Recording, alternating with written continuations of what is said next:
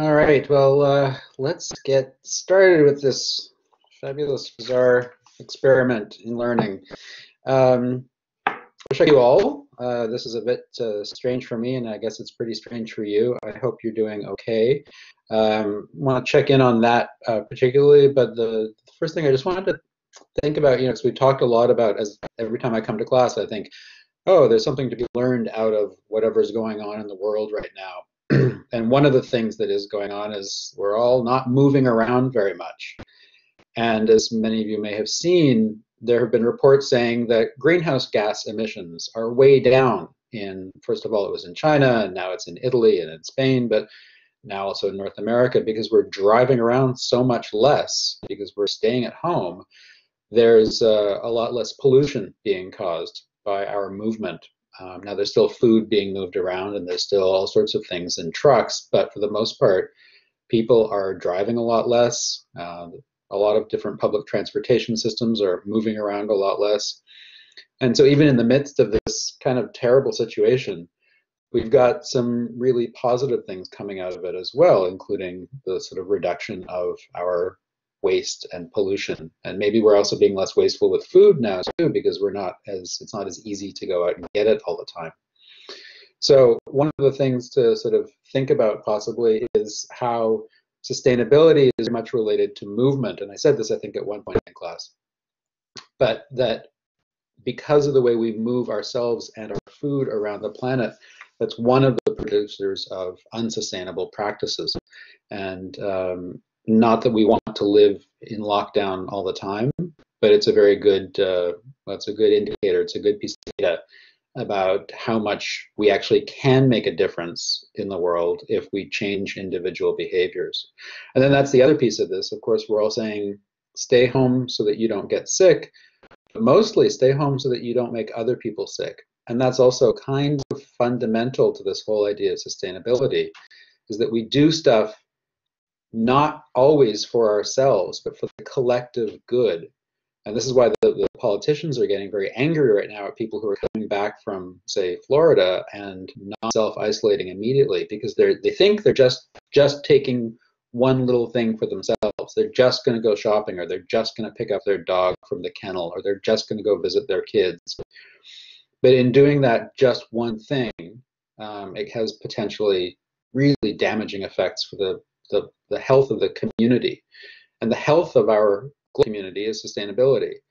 Um, so in this in this case, we've got a really good example of how making individual choices can actually have really big effects, positive and negative, on the rest of our community. And as I said, I think uh, at the end of the class on on uh, last two weeks ago, here we've got an example that we can learn from that sustainability is not obvious and you don't always see the effects directly and it may not even benefit you directly but it will eventually benefit you because it's benefiting the health of the whole system. And that's what's so hard to grasp about public health or about sustainability or about waste reduction. That it never seems big the actions that we do in the in the moment but then they have other effects, and they have effects on all sorts of people and all sorts of places that we don't expect. So anyway, that's what I was thinking about this morning. Um, for this class, uh, it'll probably be a bit of a shorter class than usual. I'm gonna, you know, my mission for the next uh, four weeks is to get through this material, uh, get you to learn as much as you need to to pass this course with the marks that you want, uh, but also to make it um, not difficult for any of us because this is a very difficult situation already. So um, that's the goal. Um, what I'm going to do is show some slides as usual, talk about them. Um, hopefully, you'll have some questions that you can pose in chat. If you're uh, if you're not comfortable talking out loud in class, this is a perfect opportunity for you to send me messages in, in the chat, and we can uh, I'll respond to them, and then we can have a sort of conversation that way. Um, if uh, there are technical problems, if you can't hear me, uh, either raise your hand with the button at the bottom of your screen, a little image of the person going like this. Um, if you if that doesn't work, or if I don't see your message uh, in the chat, because I will have to be manipulating a few things on my screen, So if I don't hear you or see you, just turn on your microphone and say something out loud so that I can stop and pay attention because that's going to be, you know, ordinarily I'd be able to see you in class raising your hand or wanting to speak. But in this case, we're going to have to rely on the, the technical, uh, the digital opportunities. So anyway, just shout out, turn on your microphone if you need to. Otherwise, keep your mics off so that we don't hear a lot of background noise. But anytime that you do want to say something, just either turn it on or send a message in chat because we shouldn't uh, we shouldn't let this technology get in our way too much. The session is going to be recorded, so I've got it recording right now. Um, just be aware of that. I'm doing that so that people who aren't in the class right now can uh, still hear the presentation, and um, and we'll see how it goes. And if we need to make modifications for next week, we will. Uh, it may be better that I record these, you watch them, and then we come and meet together for an hour and talk to each other and pose questions. I don't know. So we'll, we'll figure this out as we go along a bit.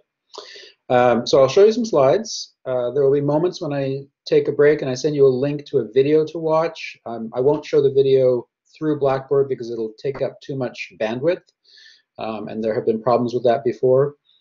So uh, we'll take breaks to look at the videos separately on your own computers or your own devices. And then we'll come back as soon as the video is over and continue on with the discussion.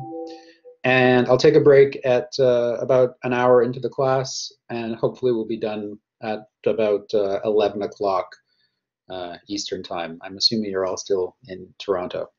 Anyway, um, on we go. Anyone have any questions about any of the things that I've just said? No. Thank you. okay.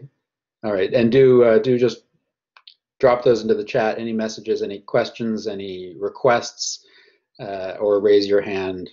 How do I? Okay, so I can raise my. I know how to raise my hand, but uh, I may not see you if you raise your hand. So best thing to do is send a message in chat or say something out loud with your microphone back on. So the first thing I want to do is go through actually the revised uh, course outline. It is posted up on um, Blackboard, uh, but there may be some clarifications that I can make doing this. So I'm just going to go through this. Uh, there we go. I'm going to go through this quickly. It's just a few things, mostly with regard to how we're dividing up the uh, evaluation points, because of course we've missed a week um, if you have seen the announcement in Blackboard, you'll know that the um, pledge assignment is no longer part of this course. So if you have completed it and submitted it, um, I will figure out a way to readjust the marks so that you can maybe um, uh, not have to do something else in the course or we'll balance points in some other way. Anyway, we'll figure that out. But for the time being, um, if you haven't done the pledge assignment, don't do it because it's not part of it. So, okay, well, Julian, we'll we'll figure that out. Um, you can, well, anyway, anyone who submitted already, I, I will see that in the grading area. Um, so for those of you who have submitted it, did you not see the announcement or did the announcement not make sense? Uh, because we posted that, I posted that as soon as I heard that we weren't going to be having a pledge assignment. Because of course this course is being taught by a few other professors as well. Anyway, we'll sort that out. Sorry about that, but um, there are some opportunities for you to get, oh, well, the emojis are going to make me laugh, so keep sending those.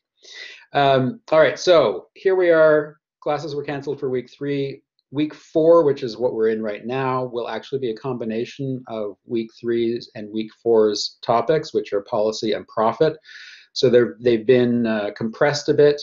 Uh, we're going to have um, a mini quiz that you can complete, and uh, that will be in some ways a replacement for the pledge assignment. So each week I'll have a very small exercise in class that's going to allow you to get some extra points. So again, if you've done the pledge assignment, you can either choose not to do those uh, extra extra exercises in class, and, or you can do the exercises and then I'll take the best mark out of out of the two, or we'll figure something else out. Uh, but that's uh, that's uh, what's going to happen. So we'll have these little additional exercises. The online discussion boards are also a place that you can participate. Um, they're uh, linked to in the in the left-hand section of the Blackboard. You can see those places uh, what does it look like? So it's right underneath, right above the, the collaborate link is the online discussions link, and that's another place that you can contribute ideas and, and conversations. Uh, the final exam will uh, take place in the last class. Um, so because the final exam was meant to take place in the George Brown Evaluation Center or Test Center, and that's of course closed, we're going to have something which we'll figure out. Uh, the professors who are teaching this course are meeting either tomorrow or early next week to figure out what the new exam will look like. Um, it can't be the same as the old exam because that, that was uh, geared for specifically taking in the evaluation center. So there will be a final exam. It'll take place in the final class. So you don't need to have any, you don't need to plan any separate time for that. Um, it'll just be built into that. And I'll be doing some review for that exam in whatever that exam looks like in this in week six.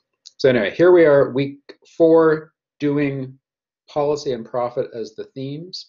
Um, I'll talk about the checklist assignment. The checklist is now due in week six, so that is before the exam week.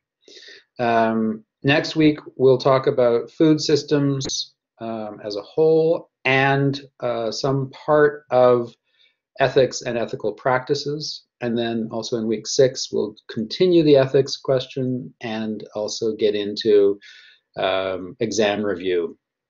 And then uh, on week seven, the last day of this course, on April 16th, we'll have the final exam, and I may have some additional case studies to share with you, some very positive, uplifting, hopeful examples. But again, we'll figure that out uh, a little bit closer to the final that week because at this point we just don't know exactly what the final exam will look like. Uh, so that's the, the, sort of overview. The major changes, obviously, pledge assignment no longer due, and the checklist assignment is now due in week six rather than week seven. Um, and I'll go through that checklist assignment again today so you can ask questions and we can figure out uh, if there are any outstanding issues there. Just looking at the chat briefly. Okay.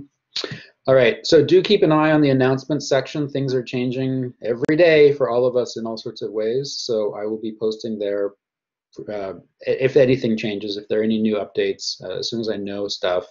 Uh, unfortunately, I'm not the only one in charge of this course. We're all trying to balance with each other, the other the other instructors. So um, we're constantly chatting about how to make this course work and how to how to keep it going uh, in a roughly equivalent way for all the students who are in it.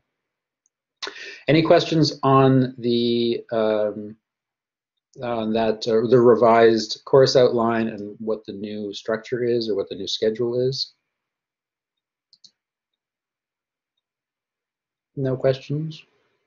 Okay. Great.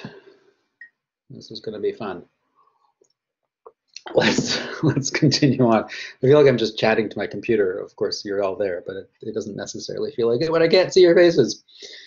All right. Um, back to the slides. So there was a couple of uh, subjects from week two on people. So I'm going to go back to that presentation. We've covered most of it, but I just want to get back to a couple of the questions about basically community food centers. These are a few other definitions. Again, um, I was teaching you definitions before for the final exam. Final exam is probably going to be something like short answers and multiple choice. But again, we're trying to figure that out. So the definitions still matter, but um, maybe a little bit less of a focus on them. So where are I going? So the, ah yes, here we go. So this is a this is an, again back to week two, uh, and Joshna Maharaj is a kind of fabulous woman uh, who has done an enormous amount with mostly institutional uh, food work. So she's worked uh, in hospitals and schools and other institutions. Prison food is one of the themes that she talks about a lot, and the importance of creating sustainable food practices in um, in in big institutions because that's very often where sustainability gets left behind, particularly questions of things like uh, health and nutrition and flavor and pleasure. So a lot of cultural sustainability issues come up when you're dealing with institutional food. And so she's done tons of work to um, both make institutions and their administration understand that food is a critical part of the well-being of the people who are part of that institution. And you can imagine in prison, um, food is, is really super critical for people's not just physical health, but psychological and emotional health. And also, it's a place where people who are coming from a whole bunch of different backgrounds probably aren't really comfortable eating the same thing. So that's been a big challenge. But certainly, hospitals, hospital food is, is traditionally known as really terrible. Um, but it's also known that when hospital food is both culturally appropriate to the people eating it and um, interesting and good tasting, uh, it helps people get better physically much faster. So if your emotional health is stronger, your physical health will come back faster. Uh, there's a professor here in Montreal who's worked a lot with the Chinese hospital in uh, downtown Montreal, um, and it's right in Chinatown, particularly for the Chinese community. One of the issues there was they were being the patients were being fed things that had nothing to do with Chinese cuisine. And so if you're you know, a 70 or 80 year old Chinese person in hospital with some condition that's being treated, either a surgery or some other condition, and you're being made to eat things like you know, chicken breast and jello pudding, all these weird kind of Western industrialized foods, but you grew up eating rice and vegetables and pork, uh, you would probably not want to eat that food, and you probably wouldn't get healthy as, as quickly. Um, and so what this professor did was created a rooftop garden actually at the hospital where uh, patients but also staff were growing uh, vegetables of Chinese origin. So things like eggplants and the and spring onions and all sorts of other vegetables that might go into a Chinese dish. Now there's obviously a ton of different kinds of Chinese cuisine, but at least that effort started to make the patients feel like they were being served food that was familiar, even if it wasn't exactly like their own home cooking. And suddenly people started getting better much faster. So that kind of work is also what Joshna supports. and it's really about thinking about food in that in that way that we discussed last or two weeks ago um, about sovereignty, that being empowered, being in power and in charge of your own food, in charge of making decisions for yourself, um, sourcing your food, cooking it, eating it, all of those things are part of what makes food good for you. It's not just about nutritional content. It's not just about eating a number of calories. It's actually about eating what's culturally right. And so that comes into that question of cultural sustainability. Um, so Joshna talks a lot about that as well. She's very interested in people practicing food beyond just buying and eating it, but in sourcing it, in growing it, in sharing it with other people.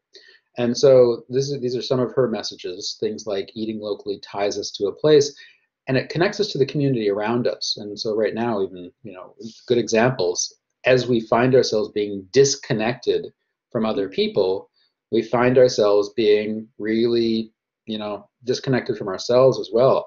I recognize I'm I'm thinking and feeling completely differently than I have over the last two weeks. Well, over the last two weeks, I've been feeling different than my normal self, just because I haven't talked to my I haven't been with my friends. I've talked to them, but I haven't actually connected in the same way. And I'm imagining many of you are feeling the same way. In the same way, connecting with food is that means of connecting to other people. So this is why Josh is so interested in, in local, not just because it's environmentally sustainable, but because it's socially sustainable. It builds that relationship that allows us to feel well and allows us to relate to other people. And this goes beyond just oh, it's better than transporting food from far away. So here we come with, uh, here are some of the examples of how, uh, how sustainable, how local food, or what Joshna calls better food relationships, um, support a variety of kinds of sustainability. So in the first uh, area, let's see if I can point to it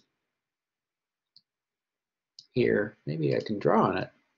There the joy of cooking and eating together. So that's that idea of cultural sustainability, social connectivity.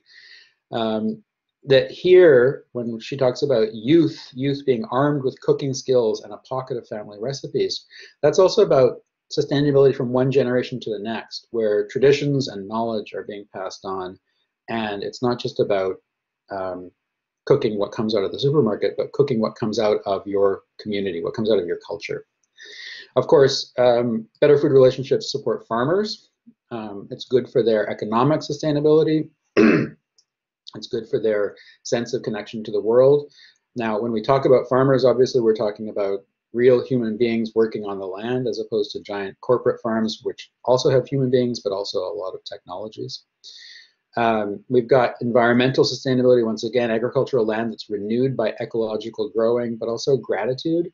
And that sounds a little bit new age, the idea of being grateful to the land. But it's actually very true that if you pay attention to the land because you're grateful for it, you'll probably be a better steward of the land. You'll be taking care of it. You'll be making sure that it's less susceptible to environmental damage. Um, you'll be using fewer pesticides and fertilizers. So there's something very important about that connection. And that's, again, why we were talking about uh, indigenous food systems two weeks ago, because that, excuse me, that strong connection between land, food, culture, identity, and individual people is what makes indigenous food systems more sustainable. It's not just about extracting resources, it's about being part of the place in order to make that place more healthful. And then thriving communities, again, we come back to this idea of social sustainability. And right now we're in a period of not very sustainable society because we're so disconnected from each other. We'll have to see, we'll have to remake that sustainability um, once this shutdown is, is over. But um, that's something to, to also to pay attention to is that we we are stronger together and we are more human when we're in relationship with other humans. And that's one of the things that's going to be coming out of this, this crisis, I think, right now. So one of the ways that those better food relationships have been activated in past is through um, th these things called community food centers. And there's an organization called Community Food Centers Canada, and the link is here. Um, the name is there. Sorry, I'm going to lose my voice early today. Um, and the community food centers are about making food more part of daily life, not just, as I said, not just purchasing or procuring it and then cooking it and eating it, but also being in the processes of, of making, maybe even growing it in some places if you've got an urban garden. And so a community food center takes um, the, the, the need that has been filled by food banks in the past and places it in a bigger context. So let's just see. Uh, it's not a great slide, but you can you can see here. Um, I'll circle some of the words that uh, the community food centers of Canada try to focus on. So they've got education is a major part of it. It's not just about a food bank delivering a basket of food to a family in need, but about teaching them how to cook, what to do with those ingredients, um, how to uh, think through food, how to have relationships through food. It's about equality, so making sure that everybody, uh, whatever social or economic class, has access to food, has access to good food, food that's healthful for them, both culturally and physically. It's about engagement, and engagement is this funny word that means um, getting involved, not just as I said, not just eating, but getting involved with the food. So the community food centers try to make sure that people are, are actually maybe cooking together, maybe coming together to learn how to cook, a few things like that. Two of the other key words for community food centers are dignity and hope. And so historically, when food banks were created, it was really just about making sure people had calories in their bodies but they weren't always paying attention to this issue of dignity. And of course, if you are in need, it can be embarrassing sometimes to admit it, to say, I need help. And food banks haven't always paid attention to that question when they're sending out their food or making their food accessible. Making it feel dignified to go into a place where you're receiving free food is part of what the food centers are about. And some food banks do this as well, very well. But the idea that it should be socially dignified and hopeful and positive to go and get that food rather than uh, produce a feeling of shame or a social embarrassment or something else. So sustainability is right there. We've talked about that a few times. Health, absolutely. The community food centers are still very focused on making sure the food is good for the body and good for the mind, uh, not just calories to keep keep you moving through the day. And community. So again, where a food bank might be some place that you go and pick up a basket or a box of food, a community food center is about coming together and staying there for a while, maybe to learn something about cooking, maybe to share a story, maybe to get some support of other kinds, um, maybe to get some psychological counseling, maybe to be helped to find a job um, or to find an apartment or to find something else that's associated with your lack of food. And then down here in the corner, prevention. It's also about preventing either food-related illnesses or preventing other kinds of uh, maybe substance abuse or physical situations that are bad for you or that you're creating for others. So what food centers are also looking at doing is, is creating a bigger sort of social safety net around and related to food. So this is a very, it's a very distinct kind of structure. The Community Food Centers of Canada is the big organization, but there are other smaller organizations that are more independent um, you can look at some of these figures uh, later if you want, but they clearly are demonstrating that people who participate in community food centers um, are, are, doing better uh, across the board. They are they're getting healthful food. They're changing their diets. They're improving their physical health. They're improving their mental health, particularly. That's what's interesting. The 70% of people who've been to a community food center say that they've experienced improvements in their mental health, and that's a big deal for people who are living um, in less economically comfortable ways. 80% um, of them said they made a new friend, 65% said they met someone they can count on.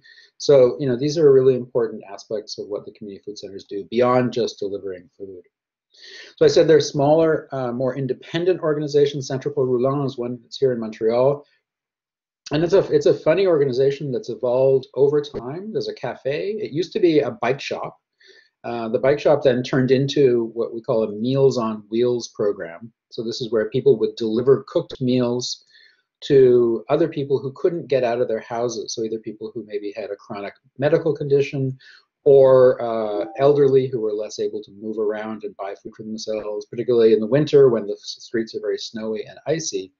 Santropol would be able to deliver food directly to their homes and also make sure that they're doing okay and not too shut in. So right now, you know, this is something that we're all experiencing, but for many people, they experience it year round where they're not connected to people. They're, they're too physically frail to, to move around or they're just shut in for a period of time while they are experiencing an illness. So what was great about it being a bike shop is that the meals were being delivered on two wheels, not on four, and all the volunteers who work for Santropol would bike the meals to different people's houses. So that's why the bike shop was an integral part of Santropol at the beginning. But now Santropol has grown even more. It's now got a giant community kitchen where people can cook together, uh, where people can make large quantities of food and share it, so it's very economically advantageous. Uh, but then it's also got a small farmer's market, it's got a rooftop garden, it's got uh, beehives on the roofs, and they're doing education about urban gardening. And in fact, the street in front of the Santropol headquarters has now been shut down permanently and is a kind of community park or garden. Of course, no one's there right now, but um, but it's a whole block of the street that's been closed off, and it's been turned into an education center and just hangout space for people to come and meet each other and, and be together. But you can see the plants growing in the raised beds, and you can learn about urban gardening and things. So it's a it's a very interesting again like like the community food centers of Canada. It's a very multi what multi-dimensional service uh, providing yes food services, but also a bunch of other things that are related to food. Santropol is now also uh, creating uh, gardening and agricultural courses so that you can go out of the city, learn about agriculture, learn about things like permaculture, and uh, maybe bring that back into the city and have your own very small little balcony full of good fruits and vegetables. So those um, those are the main points that I wanted to get to from uh, last week or two weeks ago. Uh, so here again, um, the last slide of, or it's it's within the slides of, uh, of week two, this definition of what community food centers is. They call it a welcome space in a low-income neighborhood where people come together to grow, cook, and share and advocate for good food, providing people with access to high-quality food in a dignified space. So that kind of sums it up. And it's a lot like the definition of food sovereignty we also saw two weeks ago, in which it's not just about access to food, but it's healthy and culturally appropriate food. It's produced through ecologically sound and sustainable methods. And it's the right to define your own food and agriculture systems. So it's not just food access and having food in calorie format, but it's actually food that makes sense for who you are as a person, not just as a body. And then also that it needs to be produced in good ways. And it's the right to define things. It's the sense of power and authority over your own food. So it's very similar. This food sovereignty is very similar in many ways to what community food centers are trying to do, um, is create a very holistic approach to good food in the human body. All right, that's week two wrapped up. Let's get on to week four, um, uh, not bypassing week three, of course. So I'm going to go and look at the week three uh, slides now. Is anyone got any questions or any comments about what the community food centers? None. All right. Don't hesitate to just pop in comments anytime and I can respond to them in the middle of uh, what I'm talking about because if it's a little bit more interactive for you, it'll probably be a little bit more interesting for you. Okay. All right, so week three.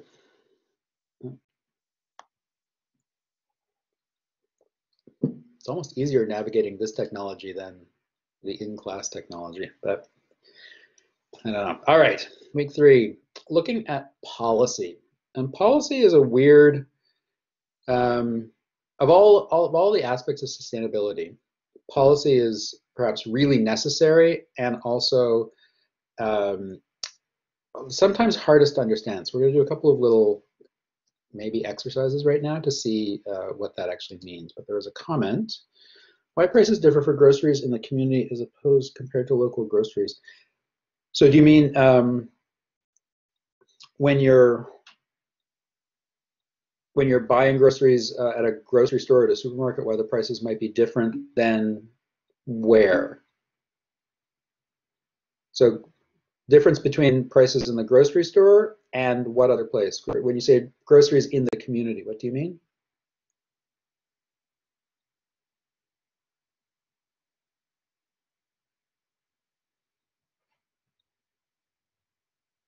Um, all right, not getting a response, but oh yeah, own own community centers. So the uh, well, there are a couple of things that are going on there. One, the those uh, community food centers um, are subsidized by different sources of funding. So they may be receiving municipal funding from the city. They may be getting funding at a, at a higher level, say at the national level. But the community food centers and food banks, I mean, food banks rely on donations from people who have lots of money.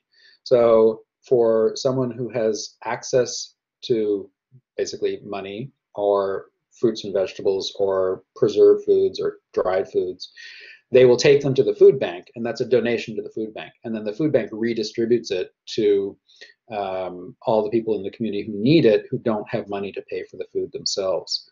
So the food bank's giving away free food. Um, and that's why, and so the cost is zero to the consumer. The consumer is just receiving a donation from other people.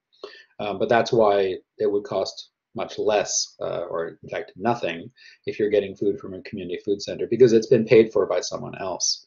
Uh, food centers and food banks also sometimes receive donations from uh, supermarkets or from restaurants. There's always the question of food safety, whether the food is safe to eat uh, because it's been processed or kept cold or kept hot in the right way. But um, those are also donations, which is why that doesn't cost anything to receive food from the food bank or from the community food center.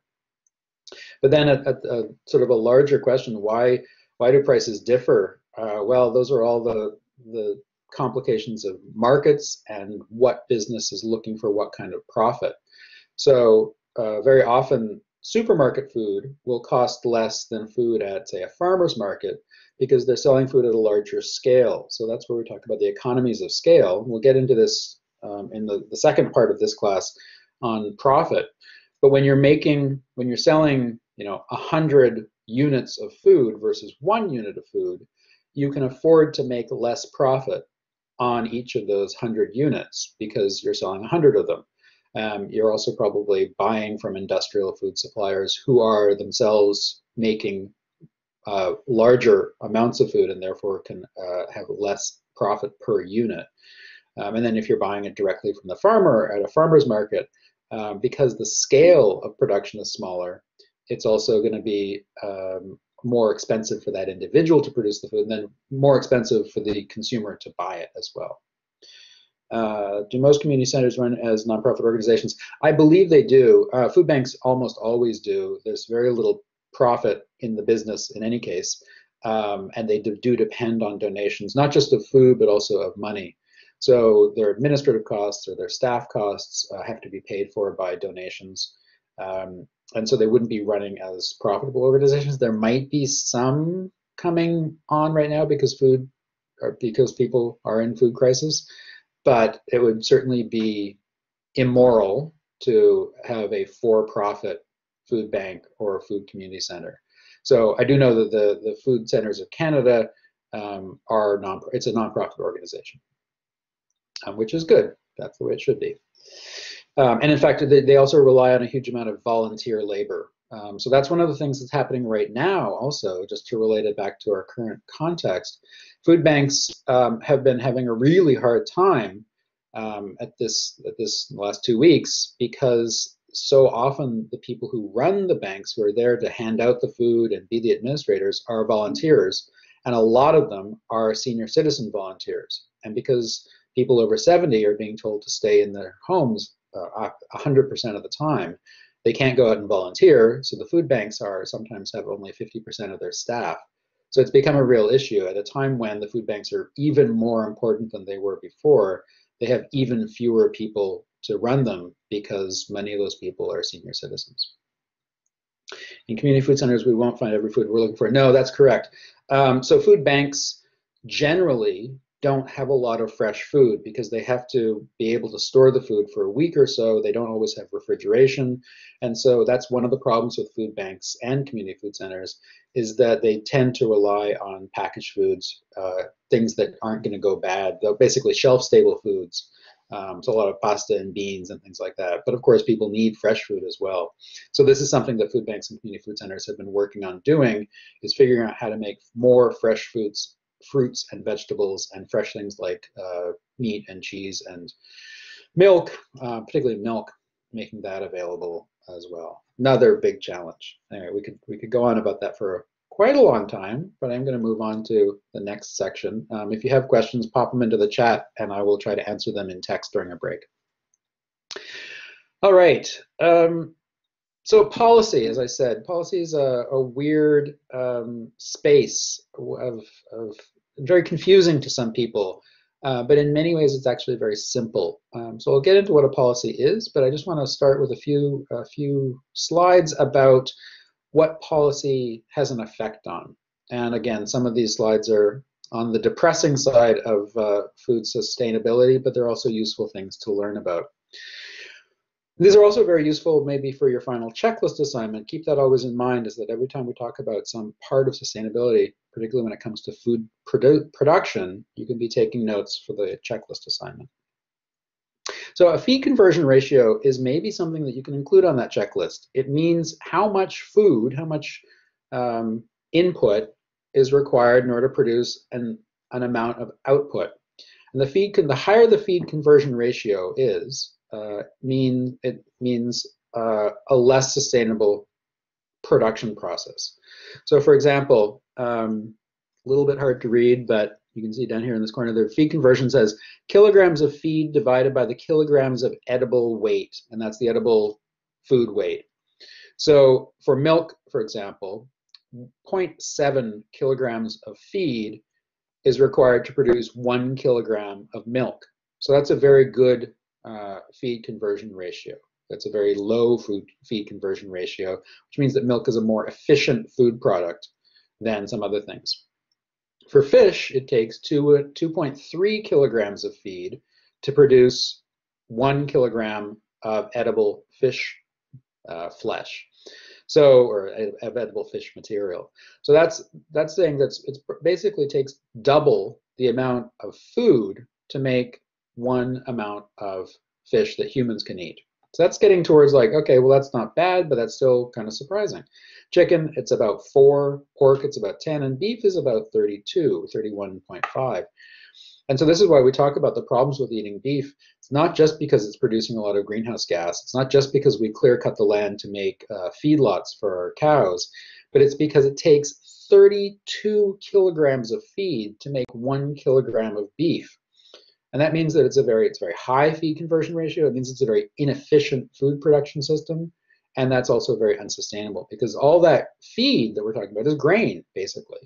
So if you actually just ate the grain, then you'd be eating, that's a one to one feed conversion ratio. If you're eating beef, you're eating basically 32 kilograms of grain every time you eat a kilogram of beef. And we'll get into what that means in terms of costs later on. Yeah, so the nutrition level differs uh, between milk, milk and beef, but certainly doesn't differ that much between, say, soy and beef. Um, and so this is why so much of our thinking around alternatives to meat are directed towards things like using soybeans or using uh, peas or other legumes, because those have very high nutritional value compared to beef. So yeah, you're and, and you know, and there's also the value in eating beef. It tastes great. It's a symbol of power. Uh, in some cultures, it's it's very central to their cultural identity. Um, but it also means that just in terms of, yeah, the beef and mealworms would be an interesting question.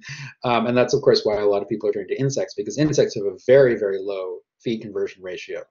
Um, and that's one of the reasons that we're looking to these alternative sources of protein and alternative meats, maybe if we're talking about clean meat or, or lab grown meat or beyond beef type meat, um, so there's a lot of different reasons to look at that. And there's also reasons to continue to eat beef, but in moderation and with the knowledge of how much grain it actually consumes or how much resource it also consumes. Because it's not just grain, it's also water.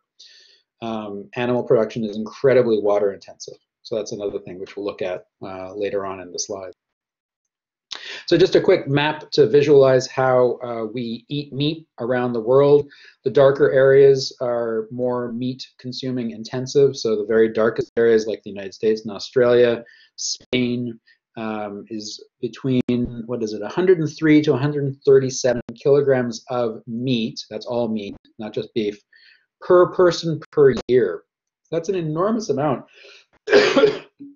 relative to see places in Africa, India, uh, a lot of Indonesia, that so there and there and in these countries, except for whichever country that is. So very much less meat consumed in those regions. And you see that it's often the wealthier countries like Europe and North America and Australia that are doing more of the meat eating. Uh, question as the plant-based protein is in trend, how the number has increased or decreased? It's a good question. I don't know actually. Um, uh, we do know that meat consumption around the world is going up, uh, particularly pork. Pork is the number one meat that's loved best around the world. Beef may be considered most, um, excuse me, most noble in way, in a way, but many countries don't eat beef. Uh, certainly, a lot of the Indian continent or Indian subcontinent does not eat beef, whereas uh, pork uh, is incredibly popular in a lar very large number of countries, particularly in China, where pork production, pork consumption has gone up as uh, individual wealth has gone up. So we're creating these alternatives, but it's probably uh, not having a massive effect global, globally yet partly because adoption is a process, and partly because meat is always going to be a symbol of power and uh, and pleasure. So people will keep wanting to uh, uh, keep wanting to continue continue eating it. Sorry, someone had their hand up. Put it down again. Anyway, yeah, I think the chat is the best way to pose questions because I'm not obviously seeing everyone's hand when they go up. All right, next. So just as a reminder, as we continue to talk about sustainability, it's this idea of meeting our own needs without compromising the ability of future generations to meet their own needs. It's not just about the future generations, but it's about other places on the planet. So as I've said a few times, sustainability is about doing something here and now that doesn't prevent other people from doing something later or elsewhere. And so that's those are the two, the major ideas about sustainability it's about time and place and not doing something or doing something that's not going to limit other people from doing it either now or later. All right, so today I'm going to look a bit at this idea of what policy is and how policy works, and then also um, how there's some issues in food that are specifically driven or affected by policy. Some of the definitions that we will look at, um, food desert, this is a big thing, food security, we've talked a bit about food policies, certifications also, and um, green space, think that's meant to be greenwashing. You know, we'll come to those later on, but those are a couple of notes about what to, some of the words to pay attention to as, as we're going through the slides. And one of the things is when we, we talk about, you know, people here and now eating food in a way that is not going to limit people in other places. What's, what's notable, and I'm going to show you some slides uh, or some photographs, is that around the world, people eat radically different amounts of food. So the expectation about what is normal is often more is often more surprising than we think.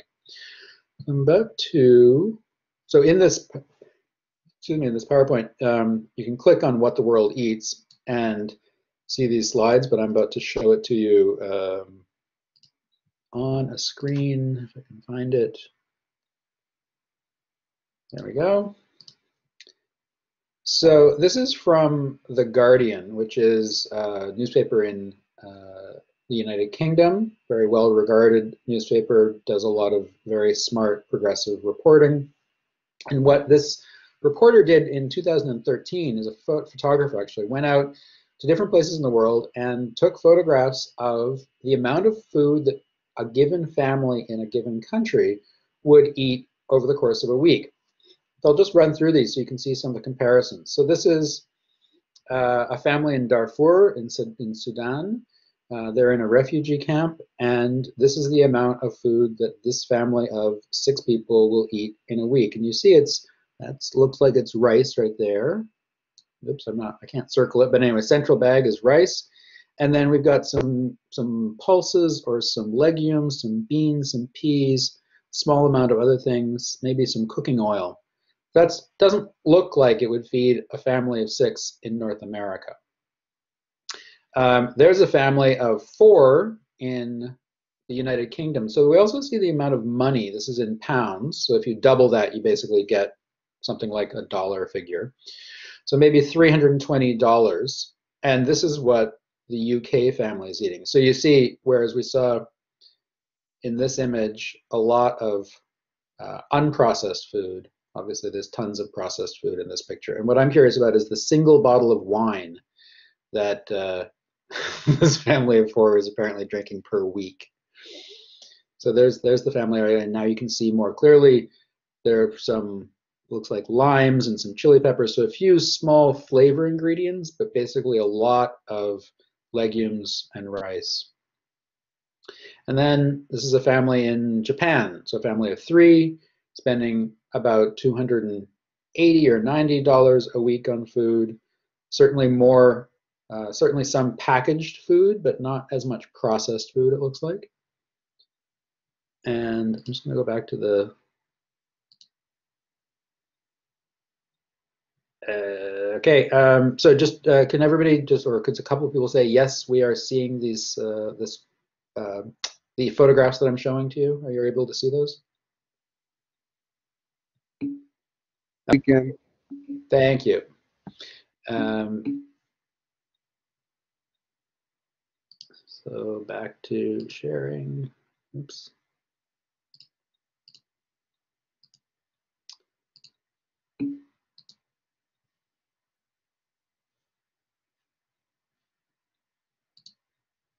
All right.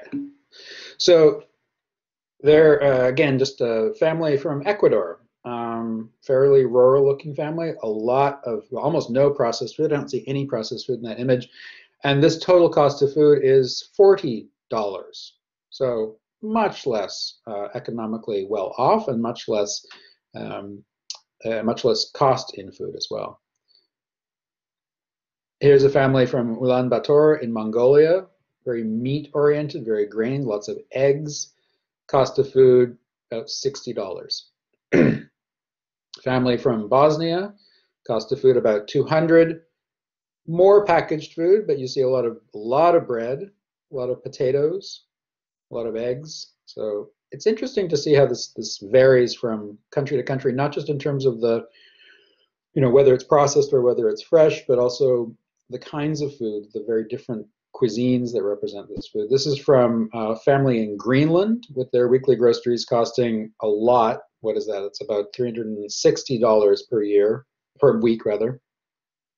And again, a lot of a lot of meat, some wild meat it looks like, uh, as well as a certain amount of processed food. And that's also partly because, of course, in very northern countries like Greenland, like the northern parts of Canada, like northern Russia, um, uh, North Europe, there's uh, much less fresh, fresh fruit available because if there's anything fresh, it's probably been brought in from uh, from the south.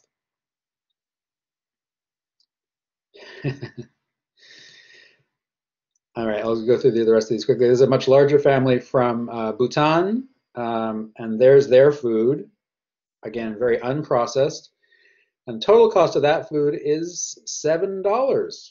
So very different economics as well. And this is clearly not a family, it's a large family, but it's not a family that looks like they're um, in a sort of reduced socioeconomic class. They look relatively well off, but a very low cost of food. And that's also partly because Bhutan is a very progressive country where food is made to be uh, less expensive than in some other places. So there's an Indian family, very vegetable oriented, $50 worth of food a family from North Carolina in the United States with their happy pizza smiles, um, but again, a very processed uh, display of food. A lot of uh, a lot of junk food, a lot of uh, certain amount of fruits and vegetables, but a lot of uh, juices in bottles and things like this. And their total cost is much higher, right? Four hundred and twenty dollars per week. Yeah, it's uh, yeah, the Bhutan family is it's it's interesting to see places around the world where there's a great deal of food, but it's not the kind of food that uh, many of us are used to eating. So in Mali, this very large family spending about $32, $35 a week, but again, a very, very simple looking diet, some certain amount of flavoring elements, a certain amount of fresh fruit and vegetable, but a lot of grain uh, and a lot of uh, likely legumes of some sort. Here's a German family. Beer seems to be a major feature of this family's consumption, as well as bottled water, as well as a lot of processed food, but also a lot of fruits and vegetables. Um, but the price here, 320 pounds, $640 roughly. that's by far the most expensive weekly food budget. And so that's notable as well. That's a very industrialized, uh, successful country, uh, but also with very expensive food. And and that is it. But that, as a comparison, just gives us a sense of what the realities are around the world, and somehow, sometimes how our realities are not as uh, familiar to places that we're sorry, we're not so we're not so aware of the normal for other people in different places around the world. All right.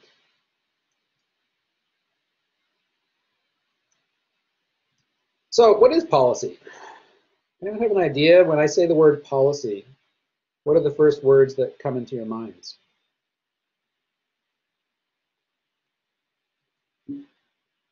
Rules. Yeah, rules is one thing. Guidelines, definitely. Other ways to think about it? what do, uh, who puts policies in place? Yeah, legislators. Legislation is, a, is one form of policy. And then who is it who's in charge of making policy? Yeah, politicians, the government.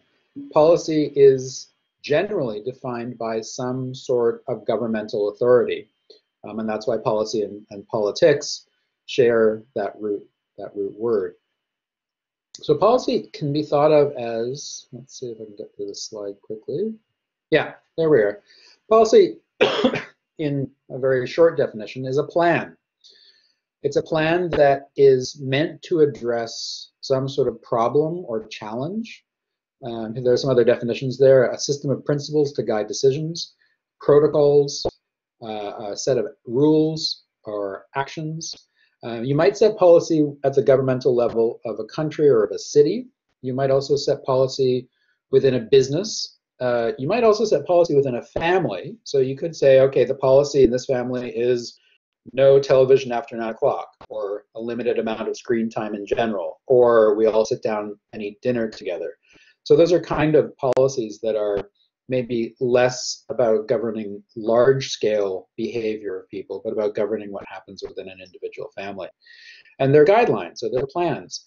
Generally, they're written down as well. So at the, at the level of government, policies are always written down so that you know exactly what has been agreed to at a certain point in time. And then most importantly, so that they can be communicated to the people that are affected by those policies. So if you have a plan and you never write it down, it's very difficult to share it because if you're, I mean, you could share it out loud, you could talk about it, but if you're trying to communicate it to 30 million people, it has to be in some sort of written form. That also helps it be enforced. So if a plan written down and it's a legal plan, so it's, a, it's an official governmental policy, then it can also be enforced. So right now we've got the situation where different governments at the provincial level are coming up with plans for how to deal with COVID-19. And some of them are saying, okay, we're going to shut down all non-essential services and we're going to make it legally required for you to go straight home after you've traveled from overseas. But then you have to enforce those. Well, first you have to write them down, then you have to communicate them, and then you have to enforce them. And that's what's proving to be a challenge right now with COVID. But it's also a challenge with some policies where people just didn't know that those policies were in place. So the communication of policy is very important. then the enforcement. And then sometimes, and this is also part of policy, is the need to change policies over time because we see that they're not really working for the large population that they're supposed to be addressing. So policies are, um, are changeable. Um, they are basically rules that are set in place with the understanding that at some point they might be rewritten.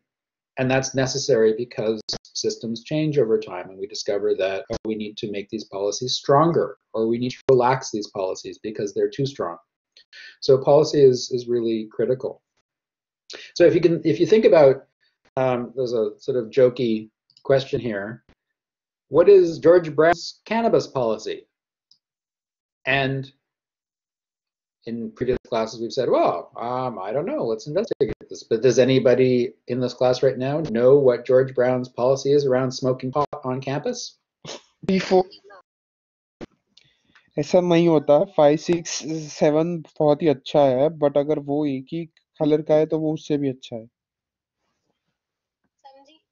Oops, someone's chatting with their mic on. Okay, um, yeah. So a few of you have responded. What's the uh, what's the policy on smoking pot? Well, yeah, there's there's uh, don't do it, and um, and indeed within the building, no smoking is allowed right? So that covers, it's not just about smoking uh, marijuana, it's also about smoking any form of tobacco or even vaping, right? So 50 feet from the building, that, that may or may not be uh, the policy on cannabis, but it's definitely almost all public buildings will have a policy saying that you must, in fact, it's usually a city or a governmental policy, saying you can't smoke anything within nine meters of the front door. So it's always do it, you can do it, but you can you can't do it close to the building. You can't do it in the building at all. So George Brown's cannabis policy is basically the same as the government's. Oops, there we go. The government's cannabis policy, which is you can't smoke in public public places. You can't. Um, but I guess you can smoke in. Well, it depends. Actually, different cities have enacted different policies, but some uh, governments will say you can't smoke in a public park. You can, can't smoke inside. You can't smoke in a restaurant. Um, but you also can't smoke in a public park. You can't smoke on the sidewalk. You can't smoke within 100 meters of a school. So these are other kinds of policies that then get followed by different levels of organizations. So you might have a federal policy that says it is legal to smoke cannabis in Canada. And then different institutions, whether it's a provincial government or a municipal government or the governing bodies of a college, will enact other policies that have to fit within the governmental policy, but that may make the policy more specific. So yes, you can smoke, you can now consume cannabis in Canada. That's the policy of the government of Canada. And then at the provincial level, you have to be 18 or 21 in order to buy it. You can't smoke it in public. You can't smoke it inside. You can't smoke it here and here and here.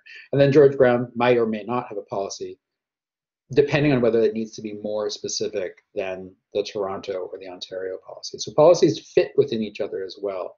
That's another aspect of policy. All right, let's. Uh, all right. Uh, do I have something here to share? Yeah, all right, let's take a little break because we're now about an hour into the class.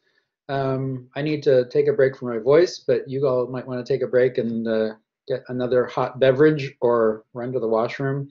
Um, I'll say, let's say, because we're not actually going too far, um, we'll make the break about 10 minutes and then regroup here. Um, in the meantime, if you're interested in reading uh, the Food and Agriculture Association, uh, Food and Agriculture Organization of the United Nations uh, policy on the right to food. I'm going to cut and paste a link into the chat.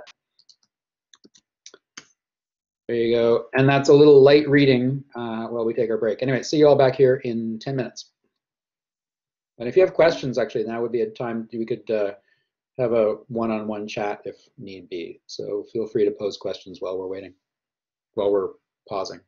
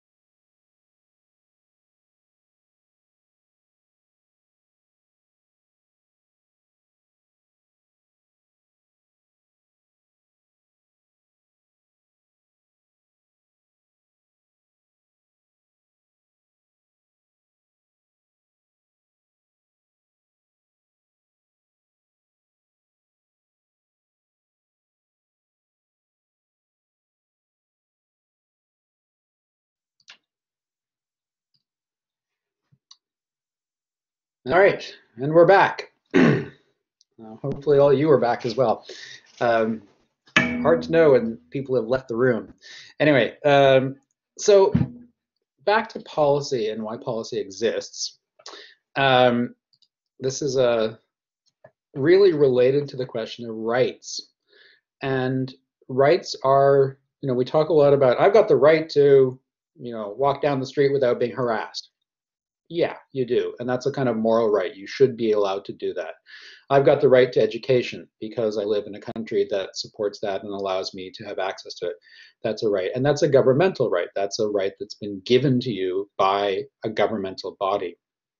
So governments in general create the policies that regulate and allow people to have access to different services or experiences, including things like education and, and freedom to vote and access to food in particular. But rights are not inherent to human beings. We don't just have rights from the day we're born because we're a human being. We have rights from the day we're born because we're born into societies that have governments that have created protections for rights and have defined rights in certain ways. Um, but this has not always been the case. And so, um, as the United Nations started identifying that there are, of course, millions of places around the world where rights are abused or rights are not respected, they decided it was important to start establishing a policy to support the right to food. And so in that link that I shared with you from the FAO, which I will go to right now, I hope. Yeah. So the right to food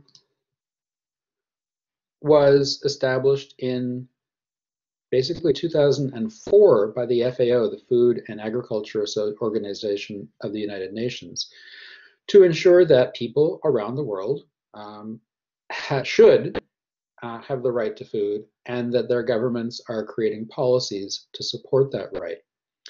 So this is this is a rather long set of policy messages, but what I'm going to show you now, or I'm going to give you a link to, is a three minute video produced by the FAO on the right to food and why the right to food is important and why it should be supported by policies and, um, and then enforced by the governments that create those policies.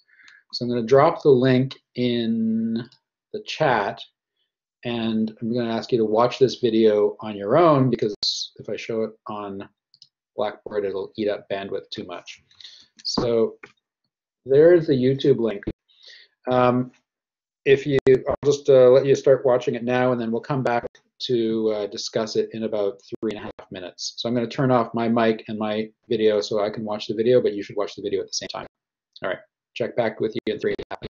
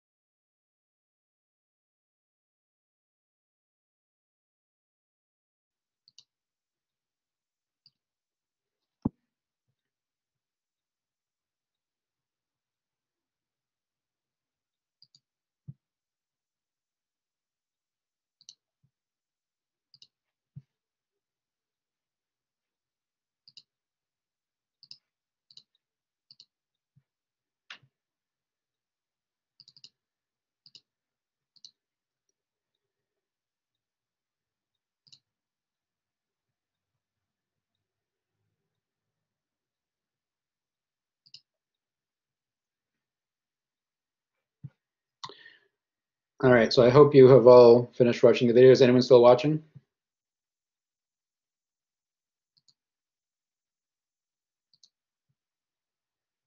All right, so it looks like you're all back with me. So I'm now, how much has the policy changed since 2016? Fabulous question. I have no idea. Um, but you can see what, what has happened over the course of time. So 1948 was when um, food was first recognized as a human right in the Declaration of Human Rights. So that's 1948, right after World War II. Then time goes, time goes, time goes. 2004, uh, the sorry, in 2004, the FAO member nations adopt the voluntary guidelines to support that access to food, that the right to food should be real. And then in, what is it, 2017, uh, we've got 166 states now uh, signing this accord and agreeing that this should be a policy that's activated at the federal level. So you can see there's this, there's this relationship between um, what should be happening, what is incorporated into another policy like food is a human right in 1948, but it's not until 2004, 2016, 2017 that we end up having action being taken on it as more and more it's recognized that this may be a right, but it's not, excuse me, there's no policy that is supporting it as a right. So declaring it a right is one thing, but making the policies that are communicated and enforced is a whole other part of what is involved in, in making policies support access and privilege and experience. In that video, you heard uh, one of the speakers mentioned this as a, as a policy, a model for policymaking at the United Nations, which is PANTHER, um, an acronym standing for Participation, Accountability, Non-Discrimination, Transparency, Human Dignity, Empowerment, and the Rule of Law. And so it's a way to start understanding how policymaking isn't just, say, one person coming up with a rule that they think is important and putting it in place but it's about participation from many people, so many different voices uh, with many different experiences to come together to create a policy that then makes sense for many different people. Um, but then also all sorts of things like non-discrimination and transparency, where it's clear why these policies are being put in place so that they are not discriminating against some groups while benefiting others.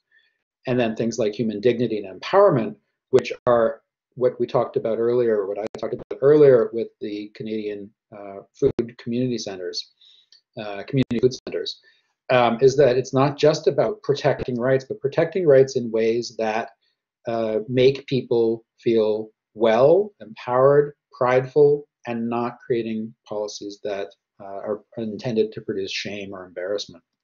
And then the final one, rule of law, is policy actually has to be enforceable and in that sense, there has to be punishment for breaking those policies as well. Some kind of disincentive to all those who might want to not follow the policy. So that's that's a model.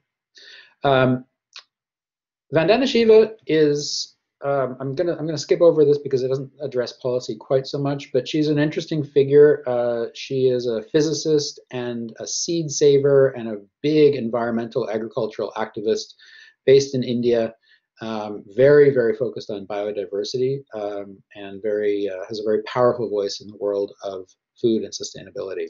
But she's someone you can take a look at later. Um, and there she is, surrounded by her seeds. Uh, Navdanya is this organization, a network of seed keepers and organic producers in India.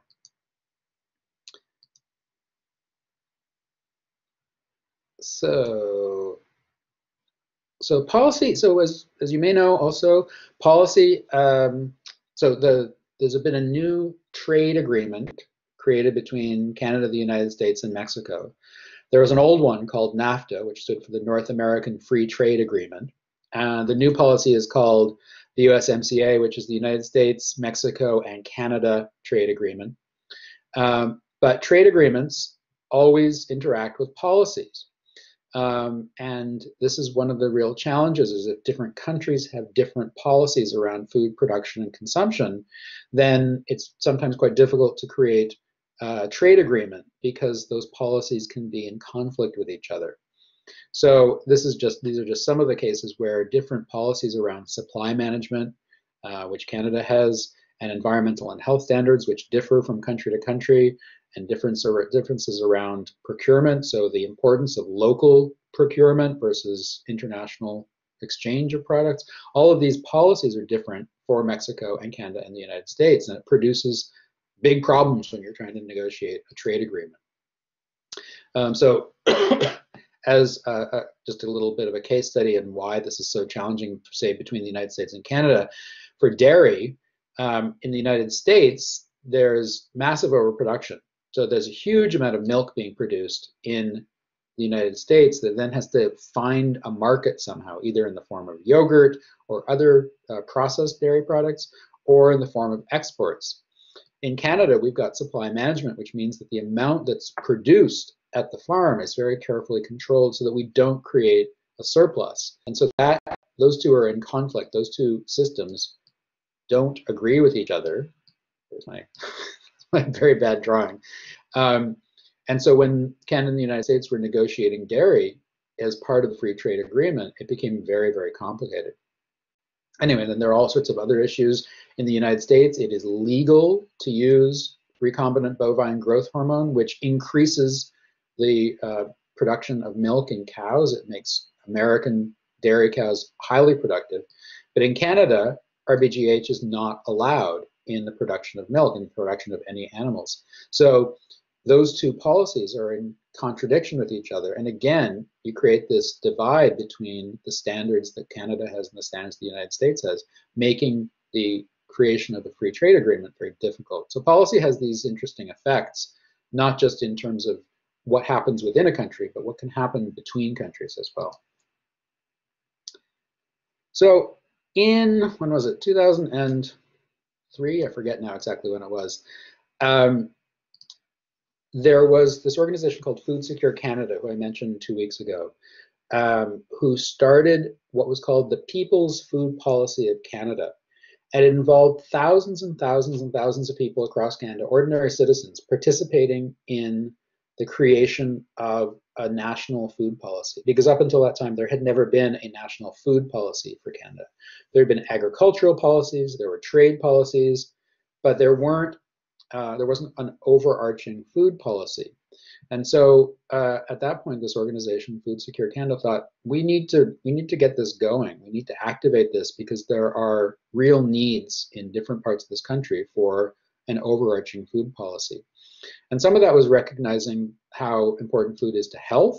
Some of that was recognizing how different the indigenous and northern communities of Canada how different their experience when it comes to food is because they have far less access in the north to fresh food. Um, there was also questions of things like labeling and communications and food literacy. Food literacy being the way that we as individual consumers can read and understand both food packaging, but also what even like the nutrition label means. So these were all questions that had never been addressed by one overarching policy. Um, and this was a real, this has been a real issue, including things like food fraud, where the deliberate substitution or misrepresentation of food ingredients. food fraud has existed throughout history, but it's never been addressed explicitly by one big policy. So this is where the, the motivation came because we saw, okay, there were policies around how to produce agricultural products, but not how to think about food as a much larger system. And so this is what so you can take a look at that, but this is now I'm missing the slide. Hold on.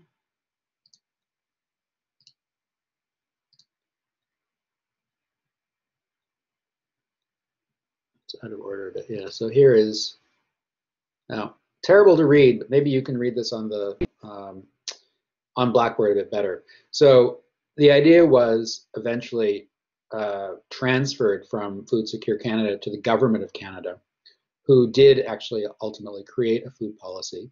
Uh, this happened, I think, two years ago, and lots of people were very, very happy about this. And then, there, of course, there were plenty of things that were left out of the policy or that were not addressed. But the major elements of Canada's current food policy is increasing access to affordable food, improving health and food safety, conserving soil, water, and air, and growing more high quality food. So growing more is one of the perpetual um, challenges in sustainability. Is it about growing more? Is it about wasting less? We talked about that briefly two weeks ago. Uh, but then conservation of the environment, improving health and safety, and increasing access to affordable. It's about economic um, sustainability, about human health, and so the individual sustainability, about environmental sustainability, and growing more high quality food, which is um, a bit of a question because it's not necessarily uh, the obvious answer to our needs right now.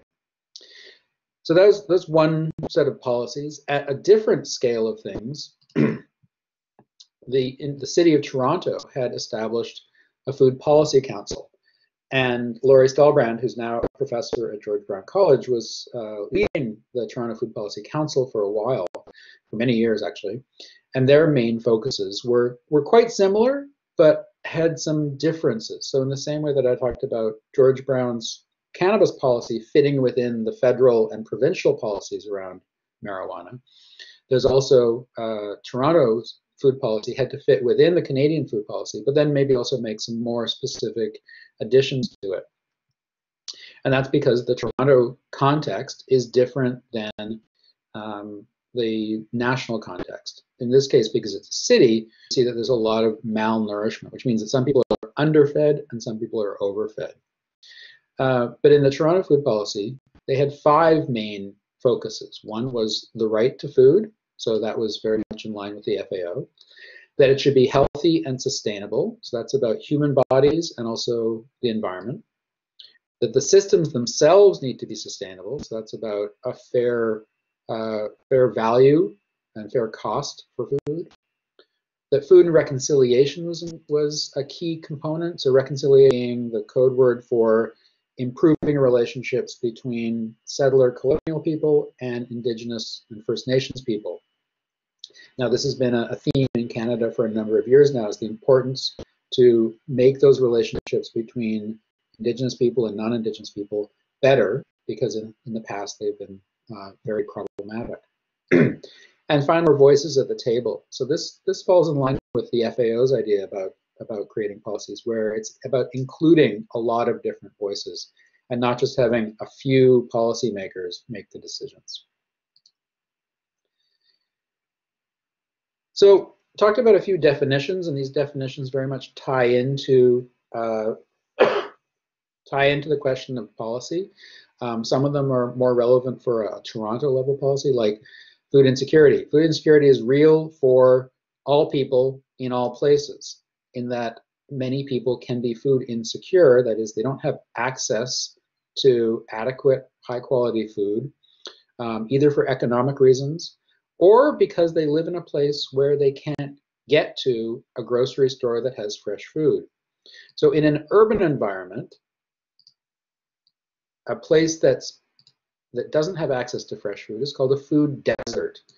And like a desert that has no water in it. A food desert is a place, it's a geographic area, I'm just going to clear this off, geographic area where residents have little access to affordable, healthful food, especially fresh fruits and vegetables, because that grocery store is too far from where they live. And generally, we say if you live more than one kilometer away from a grocery store selling fresh fruits and vegetables, you live in a food desert. And so some food deserts are mostly in cities because if we if we go into the country, obviously you're going to be further away, but you will more likely have a vehicle if you're living in the country. But for those of us who live in cities without a car, um, if you have to walk more than a kilometer to get to a place where you can buy fresh food, that means that you live in a food desert. And so, Toronto Food Policy was also looking at establishing ways to overcome that. Uh, I'll come back to community supported agriculture. That's a little bit off topic for the time being, but again, it's about making uh, making food accessible in a city. So here's uh, this quote from Building Roots, which is a Toronto-based organization. Half of Toronto's residents do not live within one kilometer of a grocery store. That means half of Toronto's residents live in a food desert.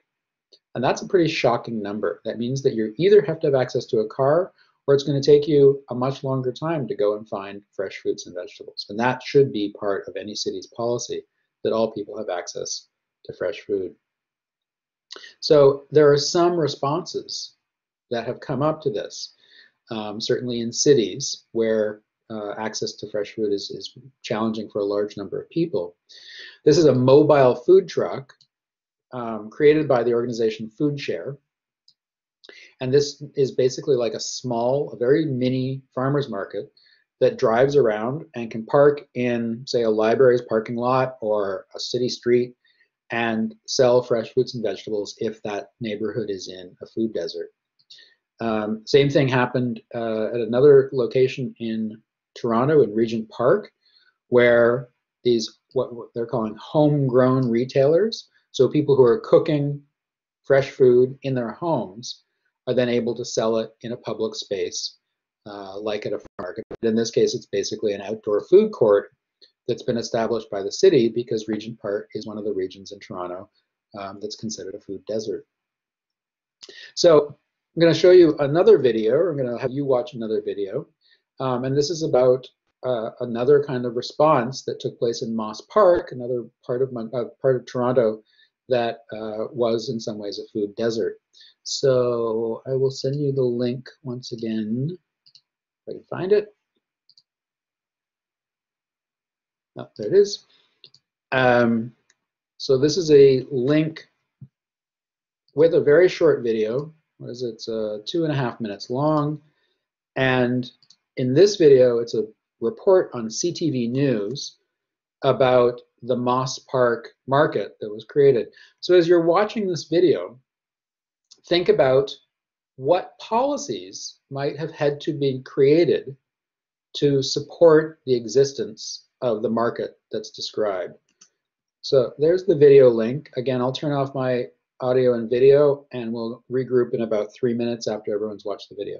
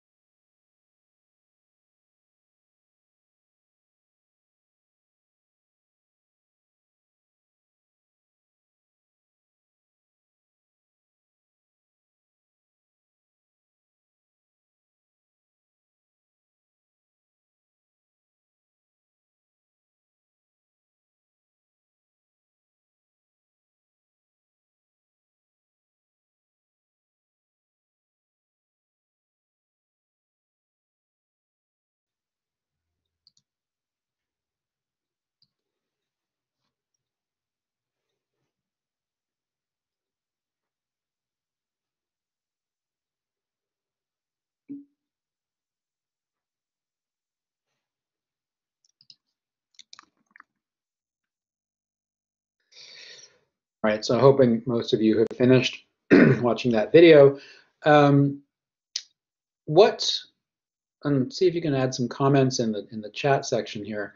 What uh, what emerged for you in terms of um, recognition of how policy might play a role in creating something like the Moss Park market? What kind of policies would need to be in place for that market to exist?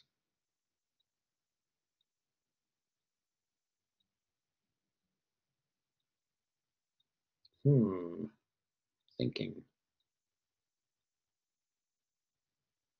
So ordinarily, in at the city level, policies are put in place to uh, make it possible for businesses to operate in certain locations and not in other locations.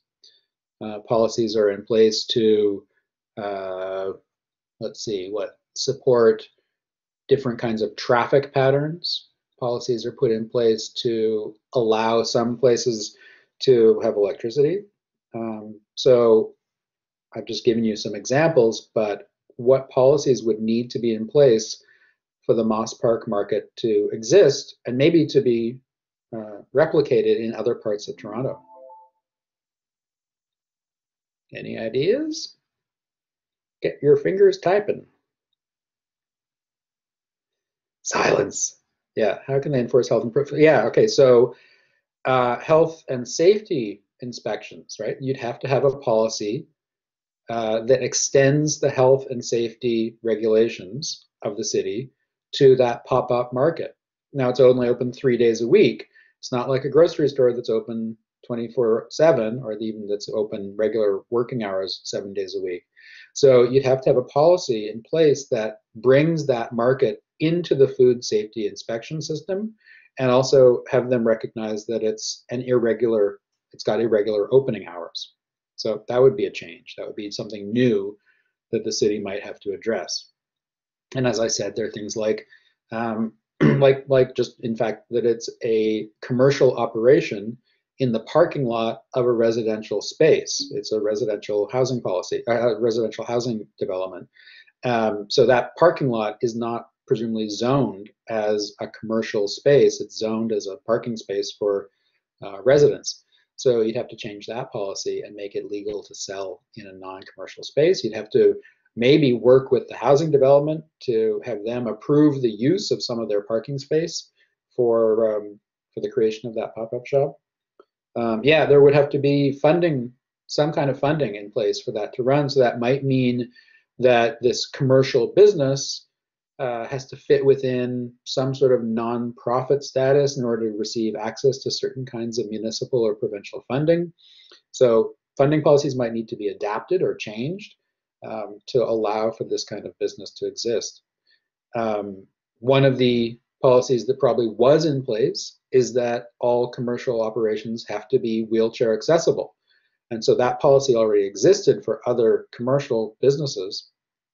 And these guys, the Moss Park Market, had to have the ramp built in order to make the front door accessible to people in wheelchairs. So that would have been a pre-existing policy that had to be incorporated into this thing.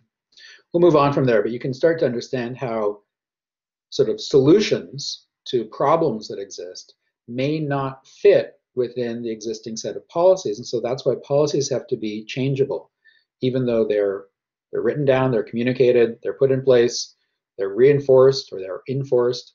They also have to be adaptable at some point because things change.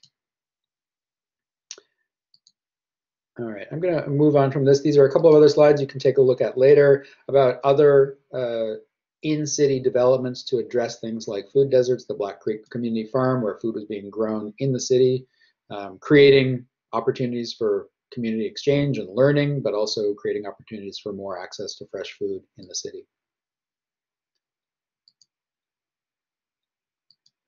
So there's some quick, quickly, I just want to look at water and genetically modified organis organisms, because these are two major uh, food-related issues that uh, closely linked to food policies.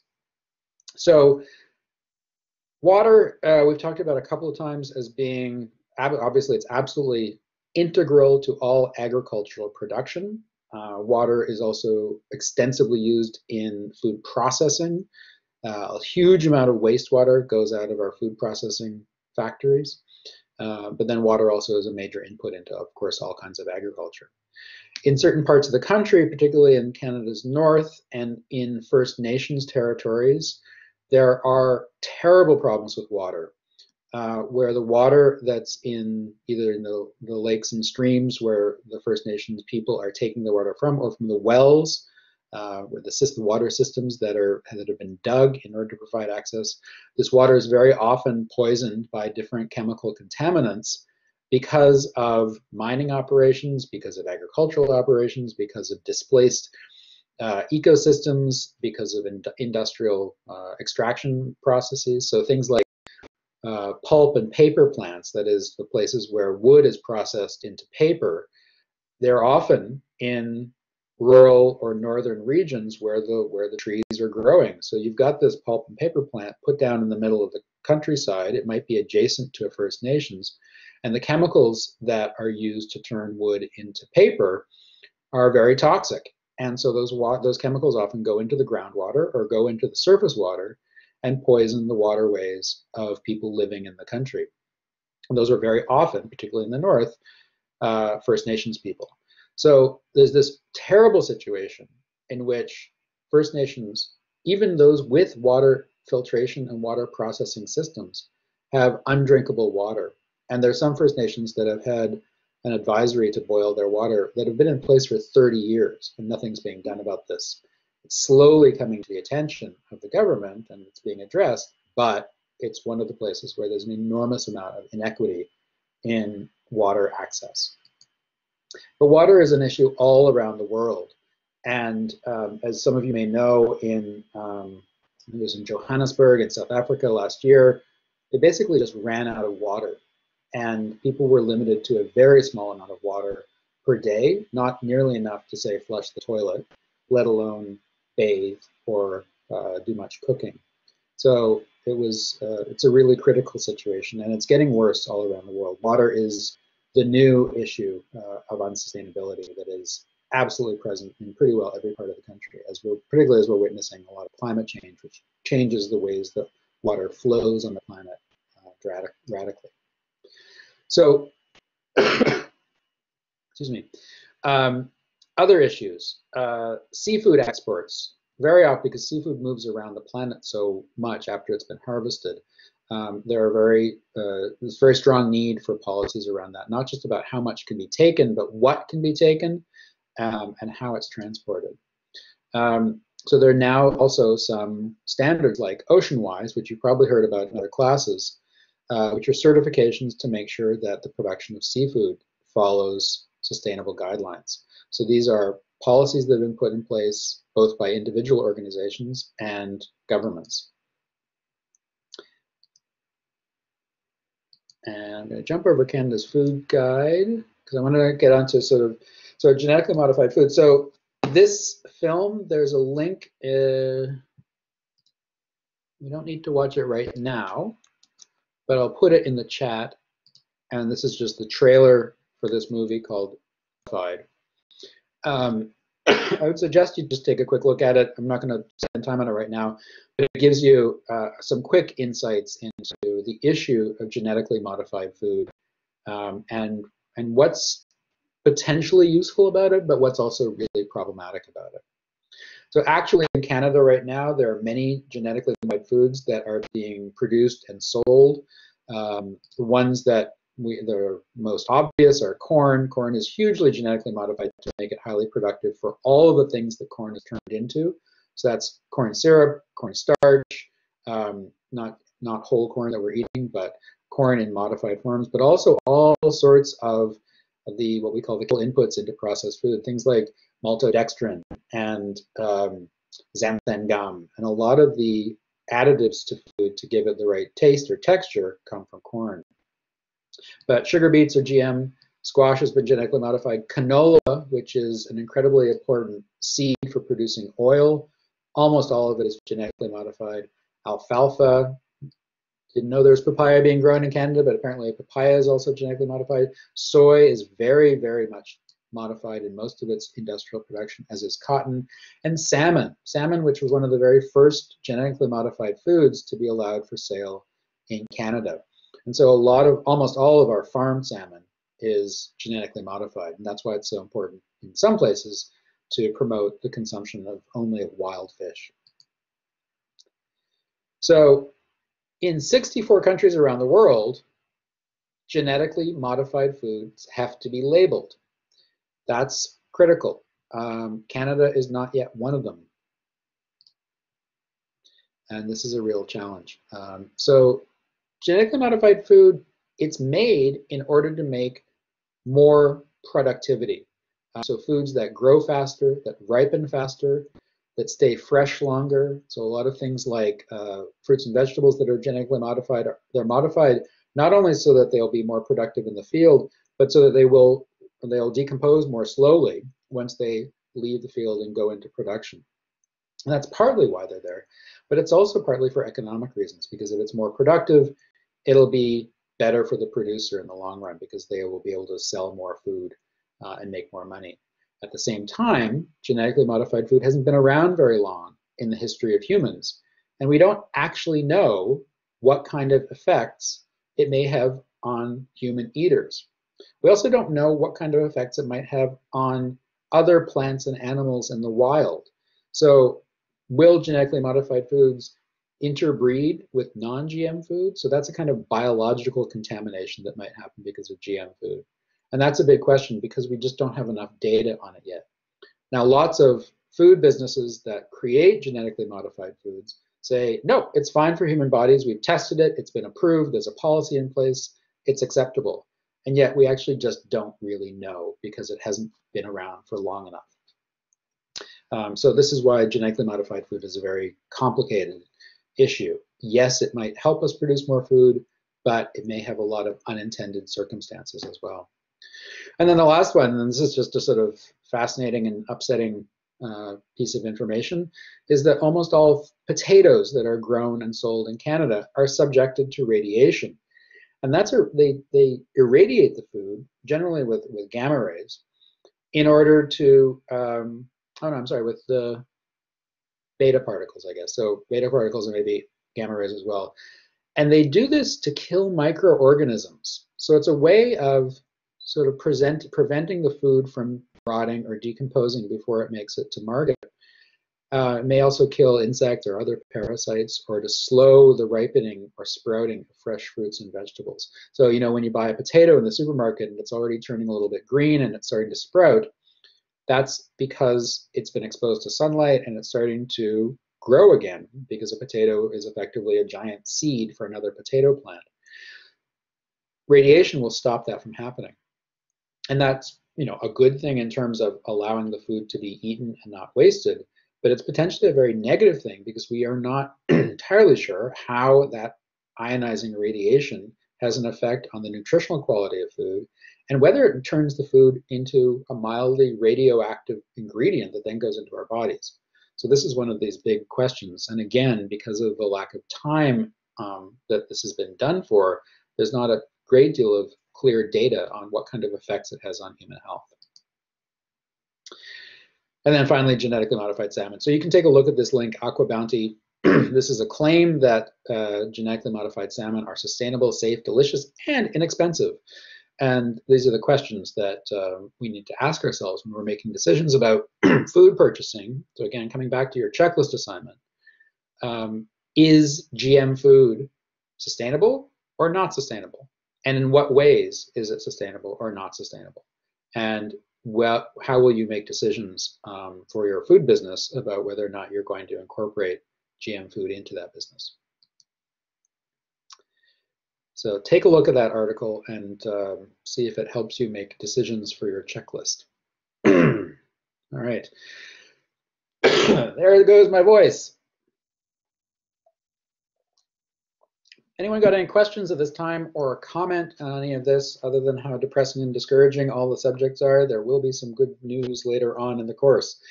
But I'm just gonna take a pause now. We'll turn over to um, price and profit. But before we go on to that subject, I just want to check in, see does anybody have anything they want to say at this point? And if you want to say it out loud instead of using saying it in chat, feel free to turn on your mics and then say it and then turn your mic off again.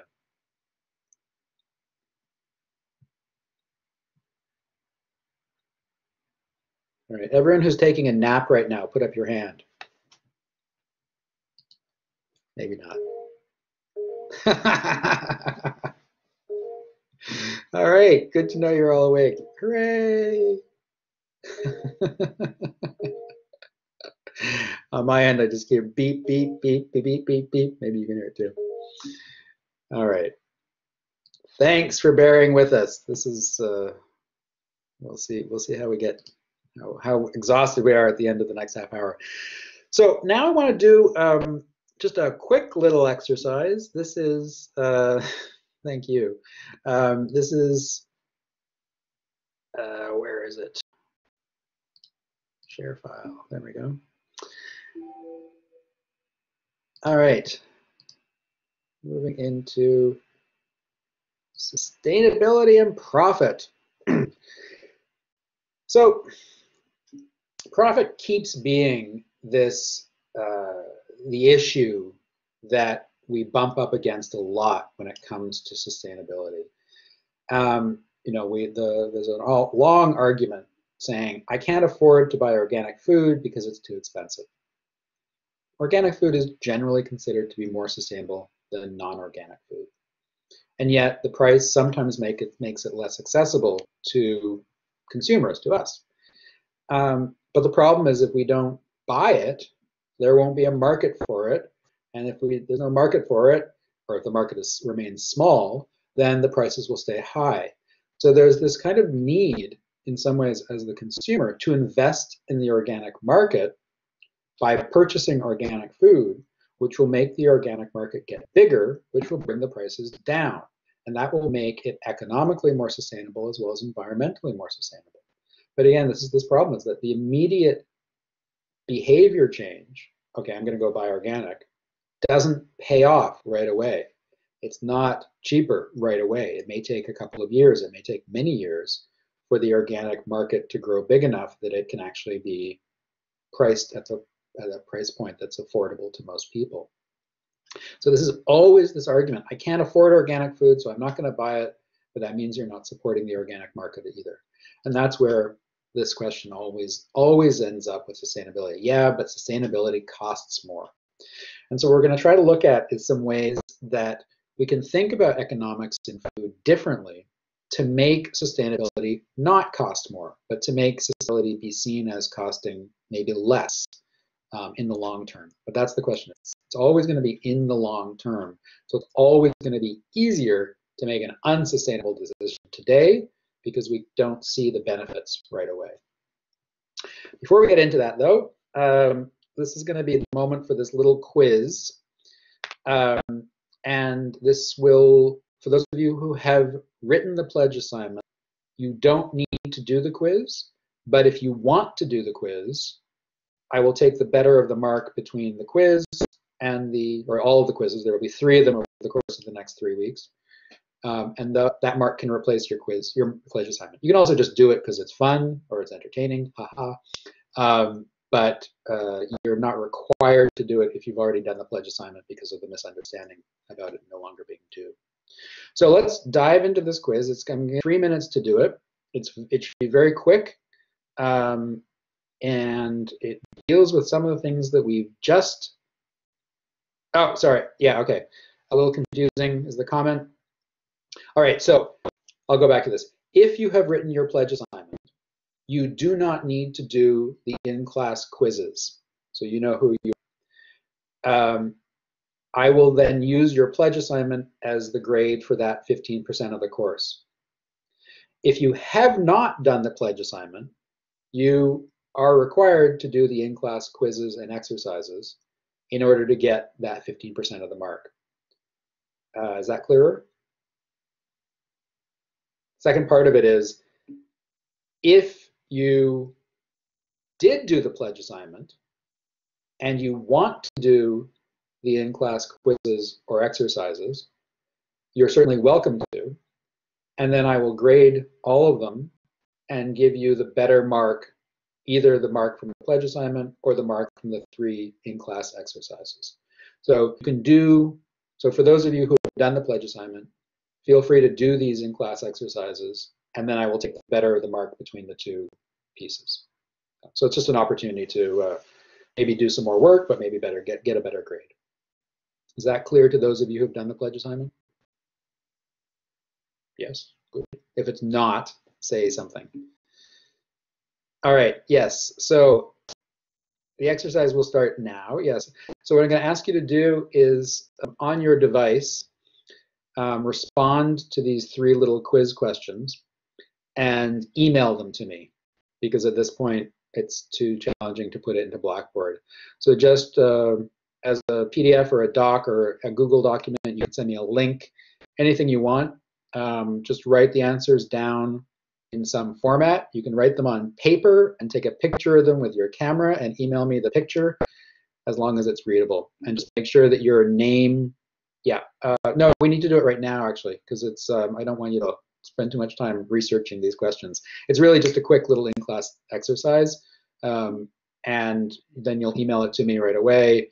Um, if it comes in late, uh, I would, well, I don't want it to come in late because I want you to do it right now. So the answer is no, you cannot send it by the end of the day. You need to send it right now.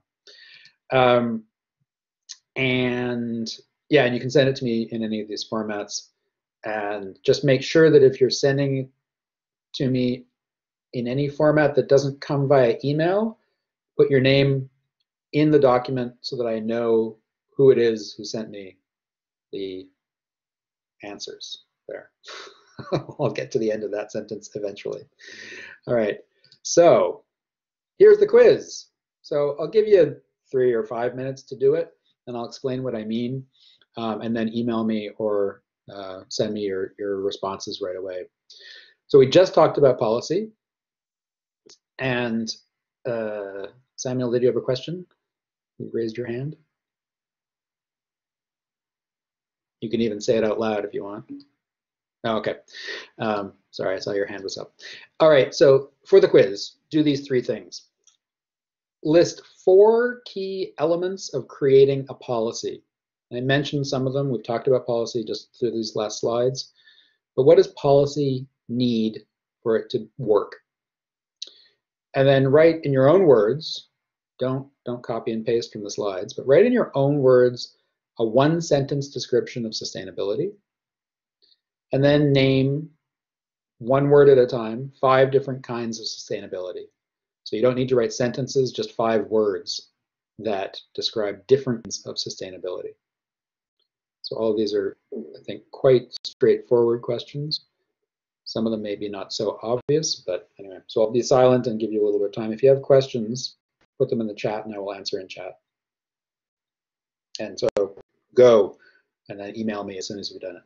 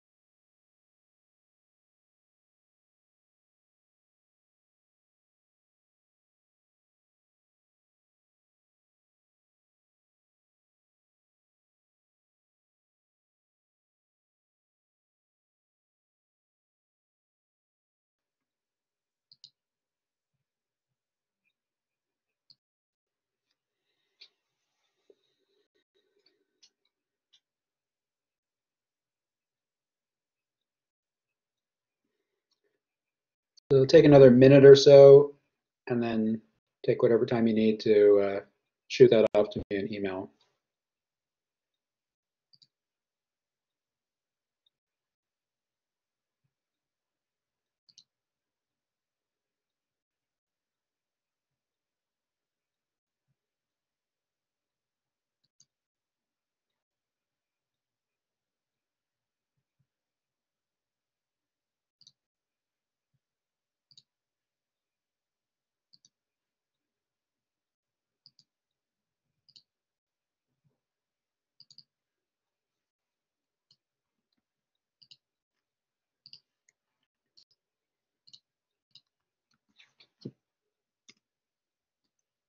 Sorry, Casey, you need to just drop my email address in the uh, chat. Does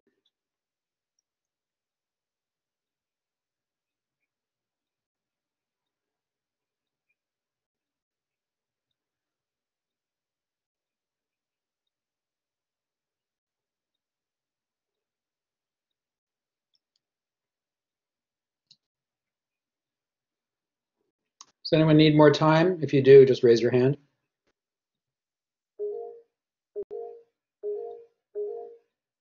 Okay, take a couple more minutes.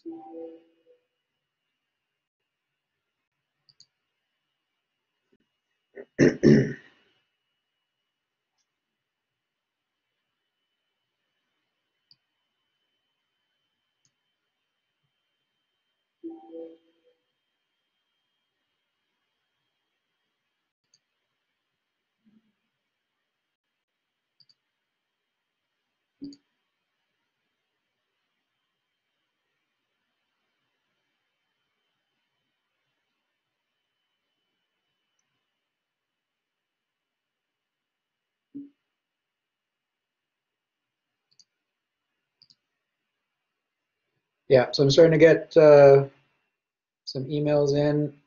I will cut it off there, so please email me right now whatever you've got.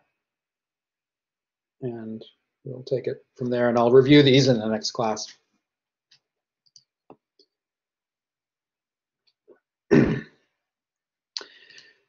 so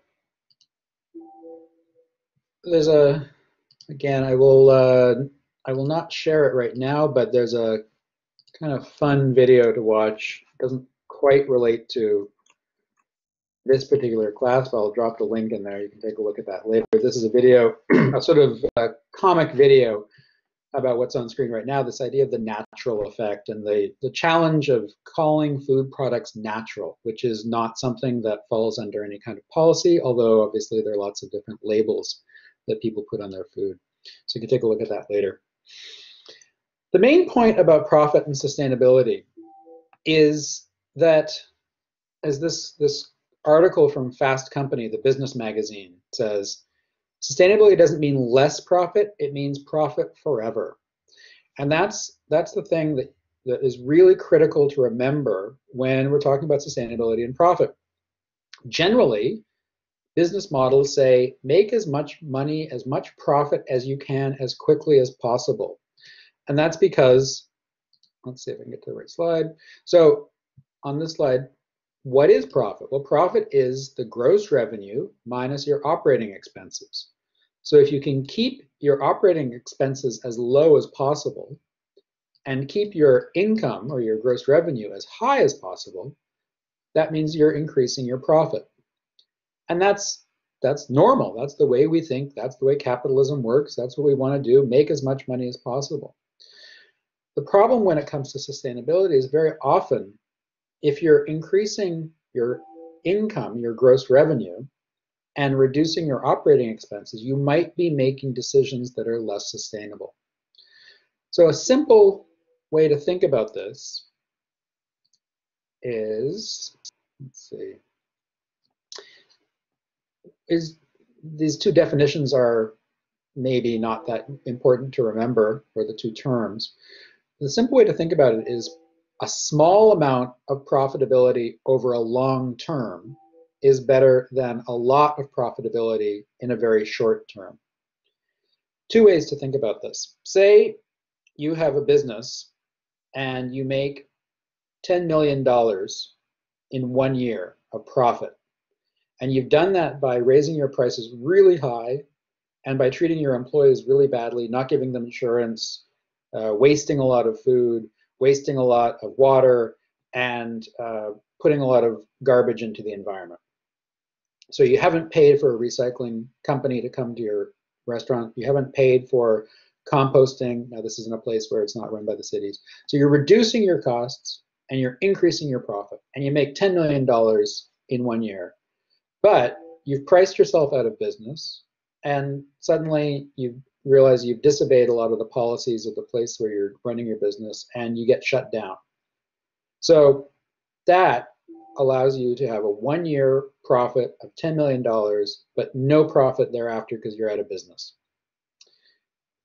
Then imagine a different kind of business where instead of making $10 million a year, you make $5 million a year in profit.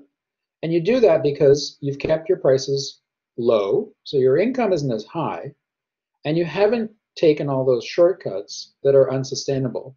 And you actually spent money on sustainability. But because of that, you develop a more solid customer base. You have the trust of your community. And you don't go out of business because you don't get shut down by the government for breaking all the policies. So then you got $5 million of income in the first year, but it means you're also operating again in the second year, maybe the third, and maybe your business lasts for 10 years or it lasts forever. So after 10 years of the more sustainable business, you've got $5 million in profit a year, which is $50 million of profit over 10 years. For the business that was unsustainable, you might have made 10 million in the first year, but you've made zero in years two to 10. So your total profit over 10 years was 10 million, not 50 million. Now that's a very simplified example of how sustainable profits can ultimately in the long term mean more profit. But it's, it's, a, it's a way to think about how increasing sustainability might reduce profit in the short term, but it will increase it over the long term. And so the little economics terms that are on screen right now, neoclassical rule and constant capital rule, are two ways to think about sustainability and profit.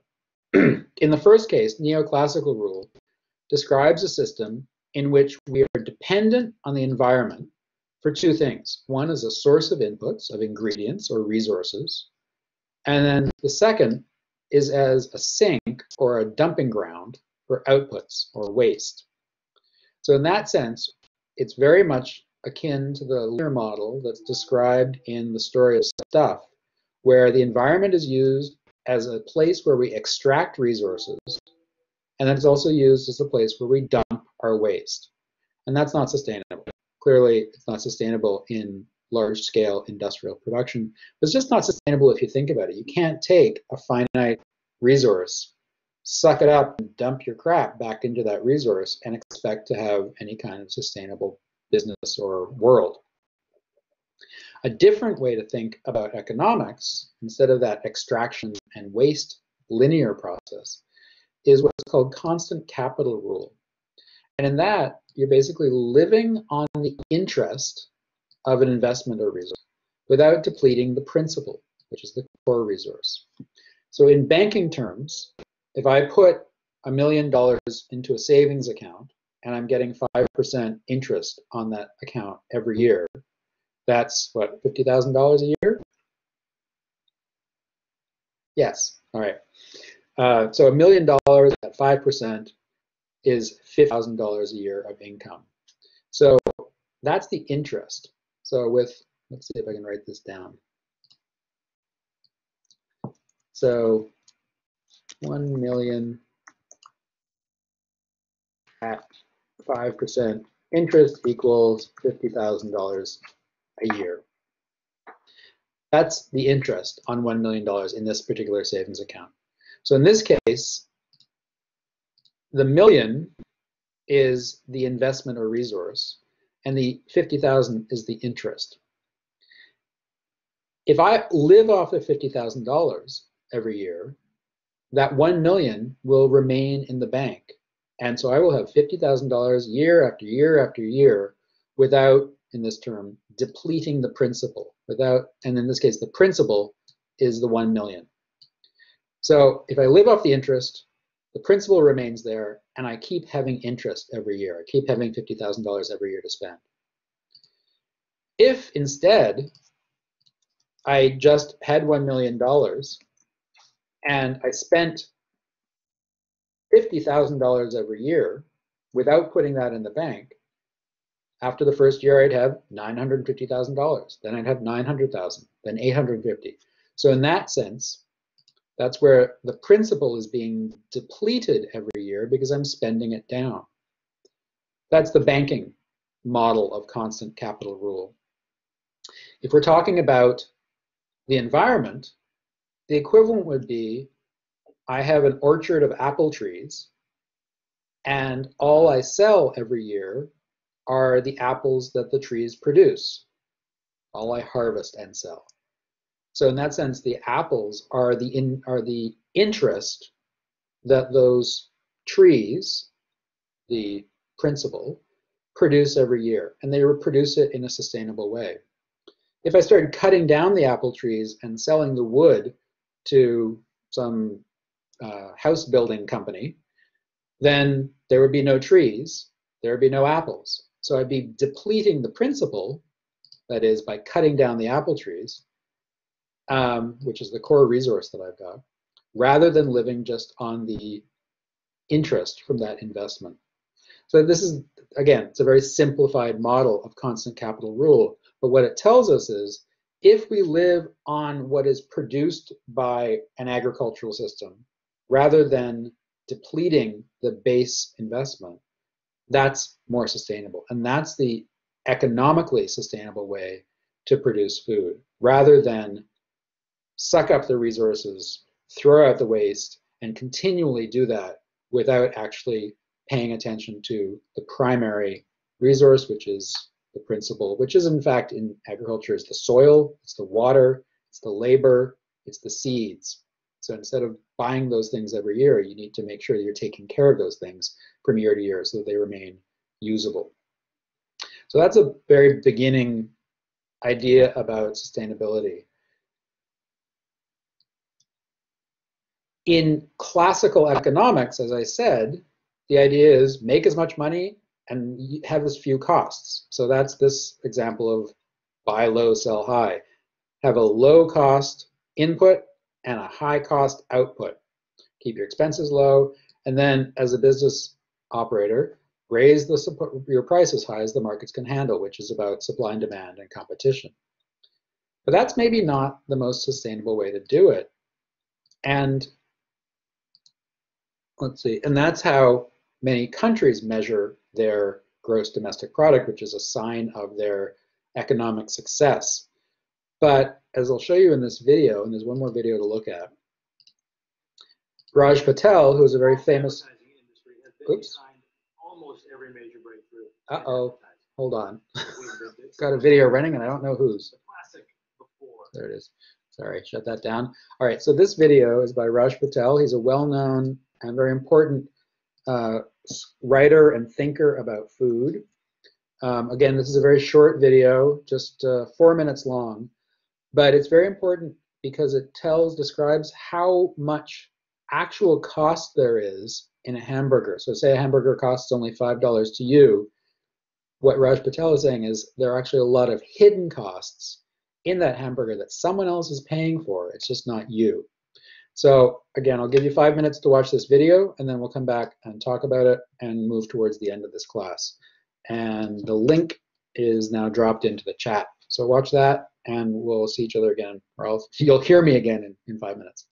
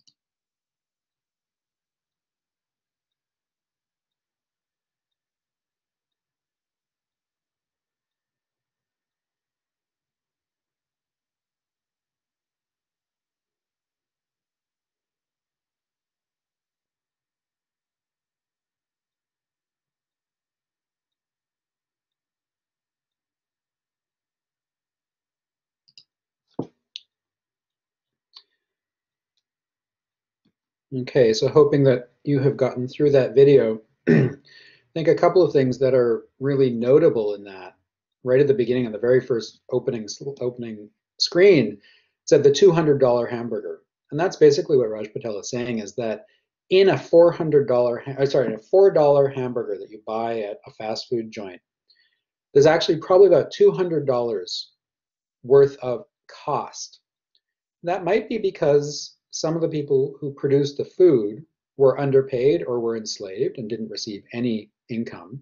It might be because that food, in consuming it, leads in the long run to health problems in the large population, and that means costs of medical care.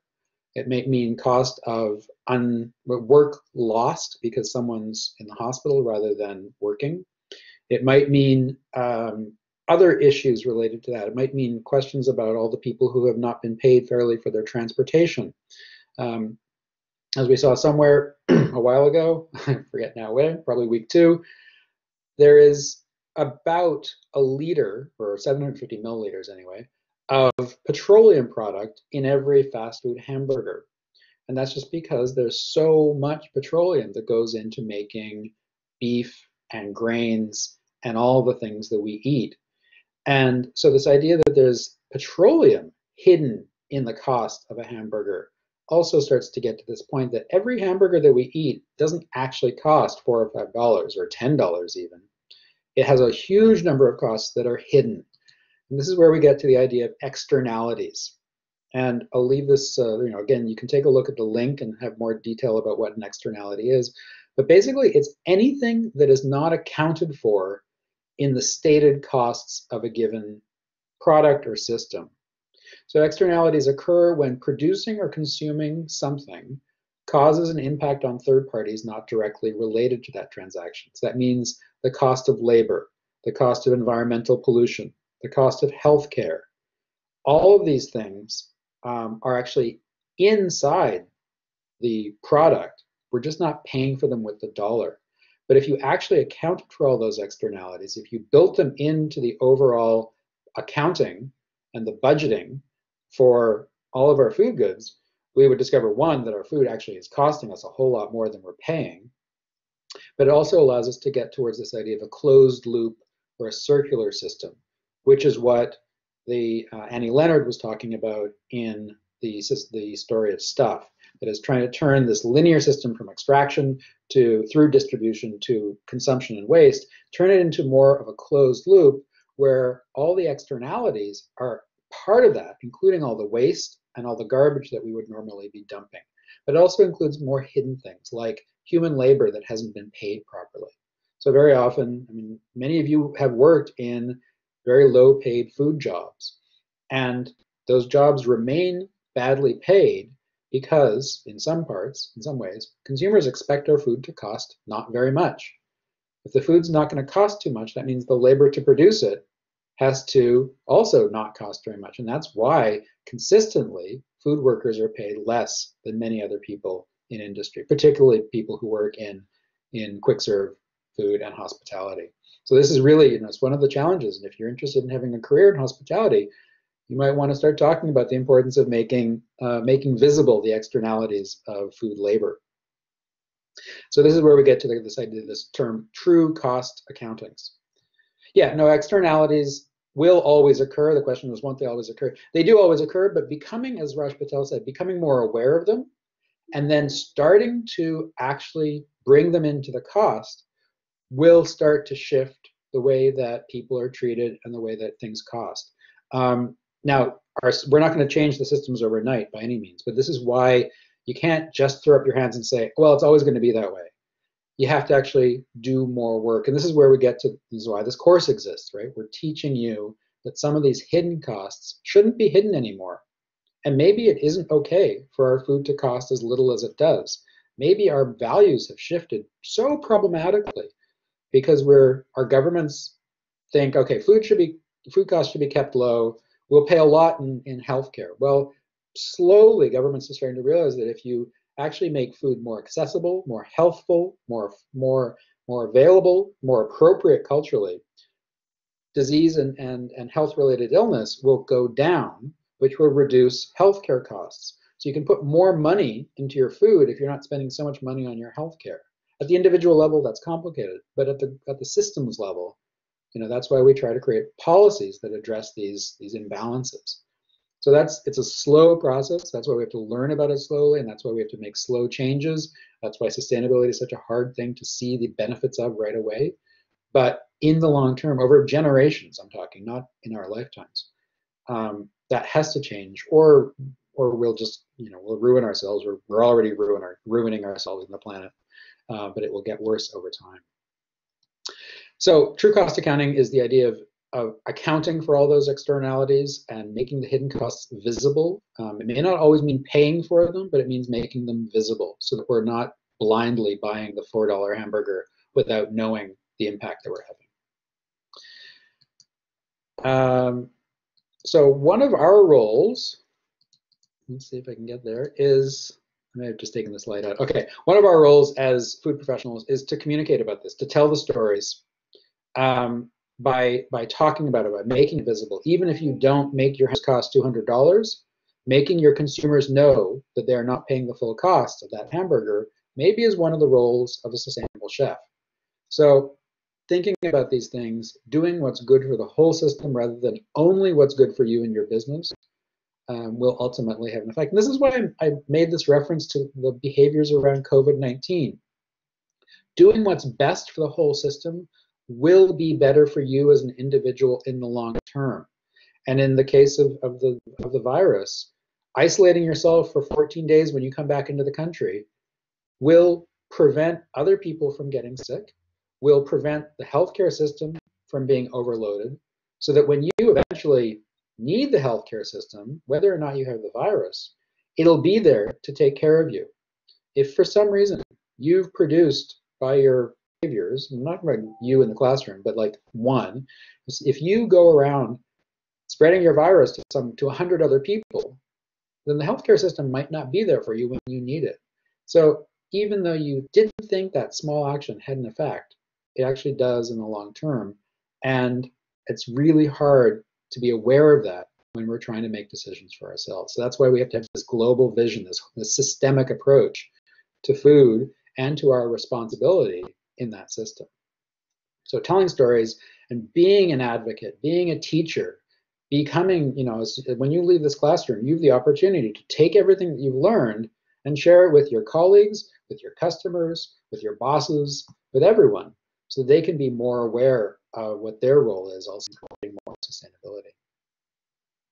So I'm going to go through, I'm not going to spend time on these slides, but I want you to be aware of them because for the checklist assignment, you need to create a mission statement for your food business. That's part of the assignment is to not only come up with a business, but make a statement about what you believe your mission will be as a sustainable food professional in, in this business.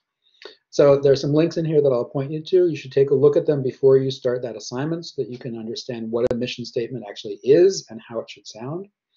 Um, they are, as it says on the slide, they involve critical thinking. So be critical as you're creating your mission statement. Don't say something that's too simplistic.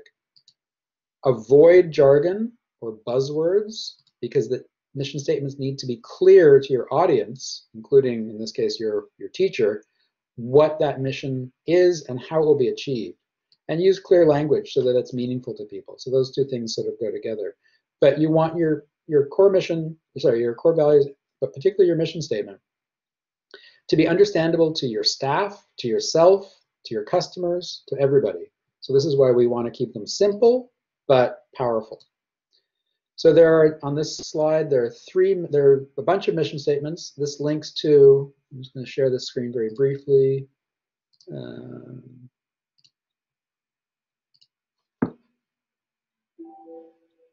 on LinkedIn, this is a kind of nice example of some mission statements that have been written by other organizations and critiques of those mission statements. So, you know, Chevron, a gas company, our company's foundation is built on our values, which distinguish us and guide our actions. Socially responsible, protect the environment, benefit the communities. This is a gasoline company. All right, really? Um, are these real mission statements or are these mission statements that are meant to sound good to consumers who aren't thinking very critically? Probably the latter.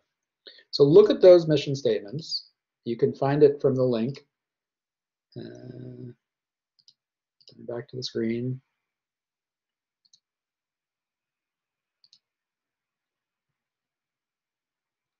Come on.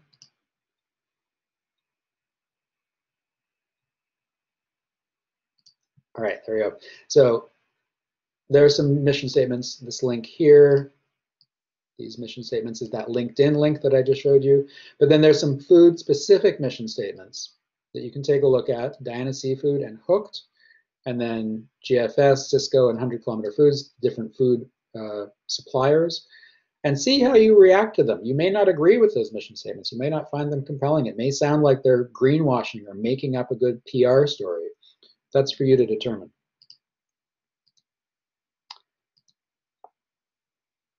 This is also a very useful tool, the Global Footprint Calculator. Um, again, I'll share my screen so you can see it somewhere.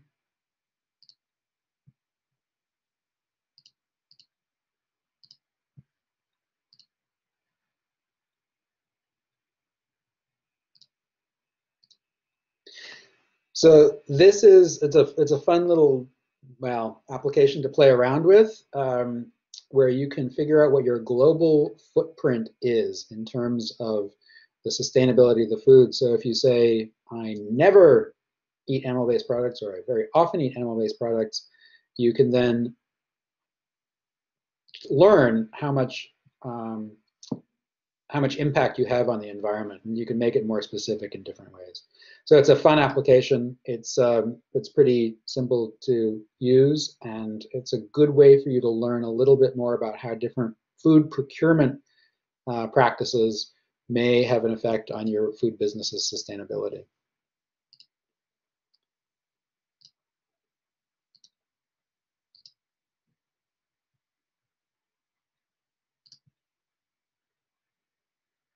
Uh, right.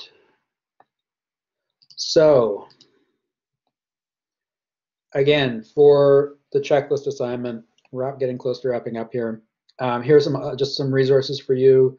Community supported agriculture, restaurant supported agriculture. These are some other ways that you can find uh, suppliers for your food business. Some other ideas about how to find more more sustainable um, food ingredients when you get to that pro that project.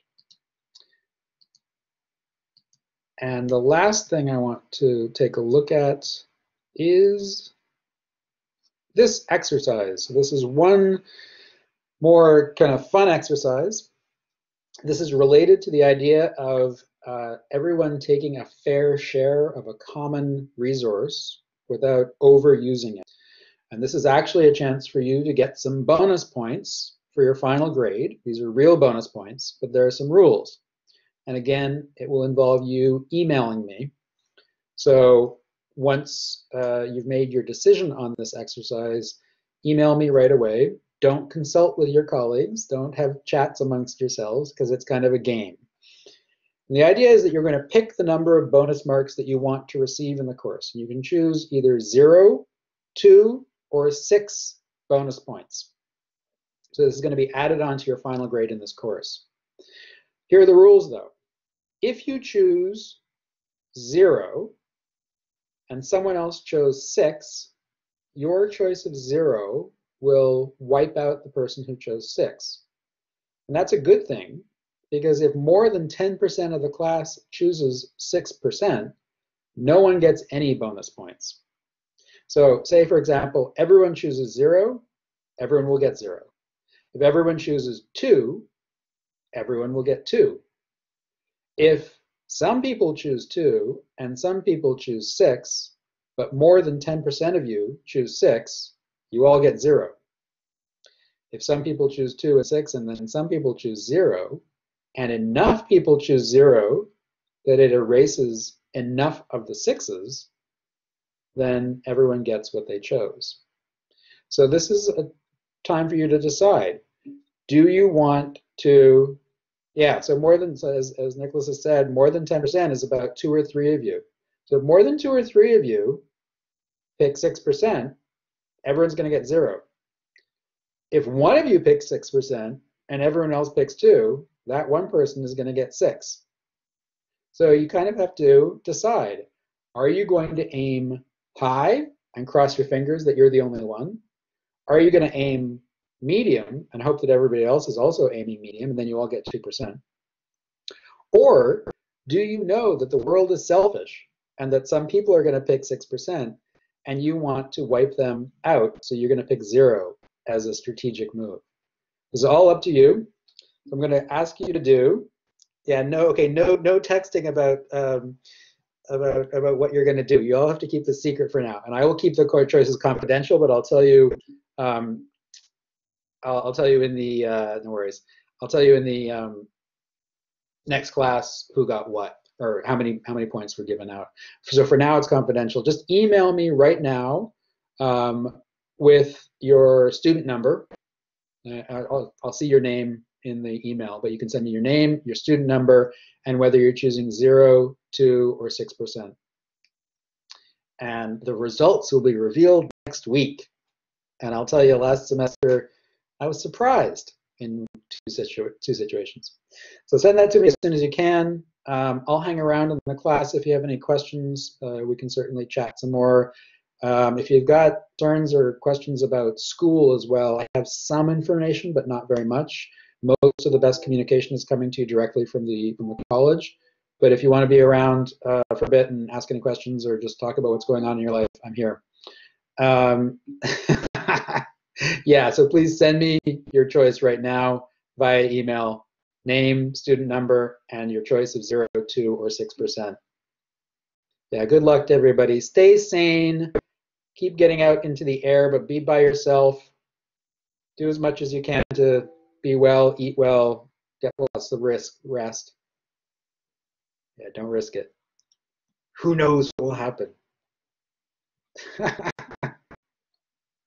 and thanks for bearing with me. If you have any suggestions about how this course can go better over, don't tell us, Matthew. Um, yeah, everyone has to pick zero, two, or 6%. Uh, okay, so everyone pick zero, two, or 6%, and the slide that's up right now explains it. So if more than 10% of the class chooses 6%, nobody gets a bonus mark at all. So that's two or three people. Basically, if three people choose 6%, no one will get bonus points. If fewer than 10% of the class chooses 6%, you all get the number of points that you chose. So if you chose zero, you get zero. If you chose two, you get two. And if you chose six, you get six. If one of you, if say five of you choose 6% and two of you choose 0%, those two zeros will wipe out two of the people who chose 6%. So they'll get zero, but maybe everybody else in the class will get two. And then a few people will get six. So it's really an exercise in deciding um, how selfish you want to be and how holistic or systemic you want to be, or whether you maybe want to be strategic and try to take out somebody who picked six. Did that explain it? Hope it does. Anyway, so email your name, your student ID, and your uh, your points, the points that you want to get. Say more about what you mean, Nicholas.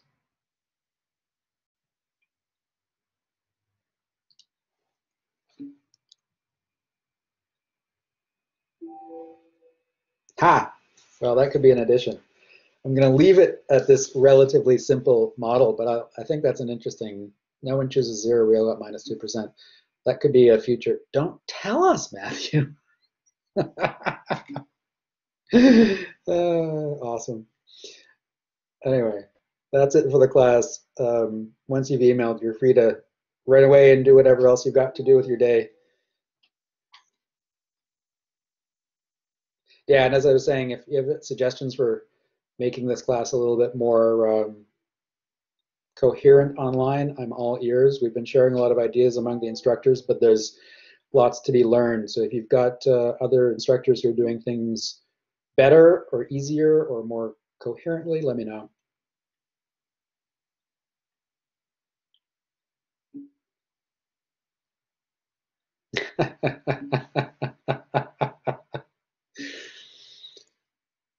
oh, yeah.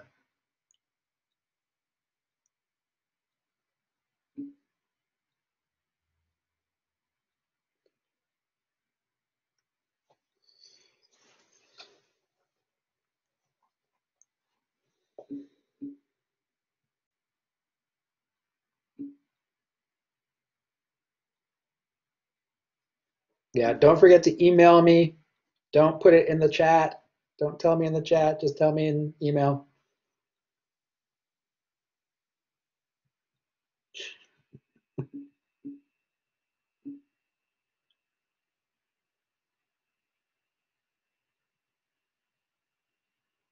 So if, if everybody does the checklist assignment, everybody gets 6%. If nobody does the checklist assignment, everybody gets 0%.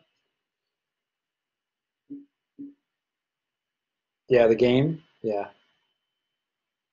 Yes, exactly. If everybody chooses 2%, everybody gets 2%. But then maybe there's some people who aren't going to follow that rule. If you all agree 2%, and then two people like, three people like Jacob say, yeah, I want six.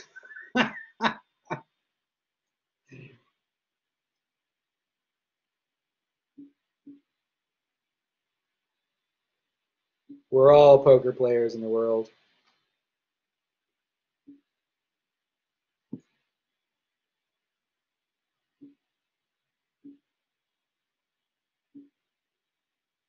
Risky move, risky move.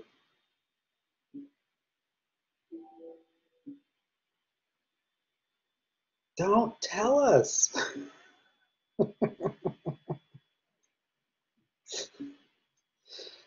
it works a lot be better, this exercise, when it's in class with paper, and I can make you all be quiet and just hand me the paper, fold it up.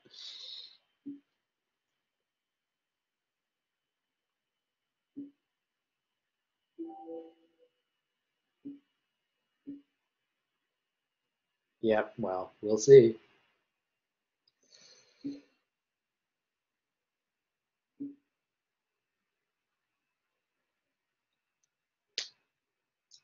It's a lesson in collectivity and sustainability. All right, folks. Well, if there's nothing, um, if you don't have questions uh, about any of the work or um, or just general questions about how to get through this bizarre situation that we're all in, I'm going to close this classroom, but I will hang out um, in Blackboard. There's if you go into the uh, BB Collaborate section, the course room is just unlocked, so I'll go hang out in there for a while. Um, and you can come join me in there if you have anything you want to say or anything you want to check in about. But for now, I'm going to shut this down, shut down the recording, and post it up uh, later on. So take care of yourselves and see you. Okay, uh, Ismail, come in, come into the other room, and um, I'll explain it to you again. Um, you're basically just picking zero, two, or six percent. Who wrote on my blackboard? I'm going to erase that. Um, and then um, then I'll be giving you bonus points at the end of time. Anyway, see you again next week. And stop, stop. I'm going to control this. No writing on the screen. All right. Good to see you all. Good to see your names anyway. Check you next week. Good luck. Take care. Have a Good day. Bye. Bye.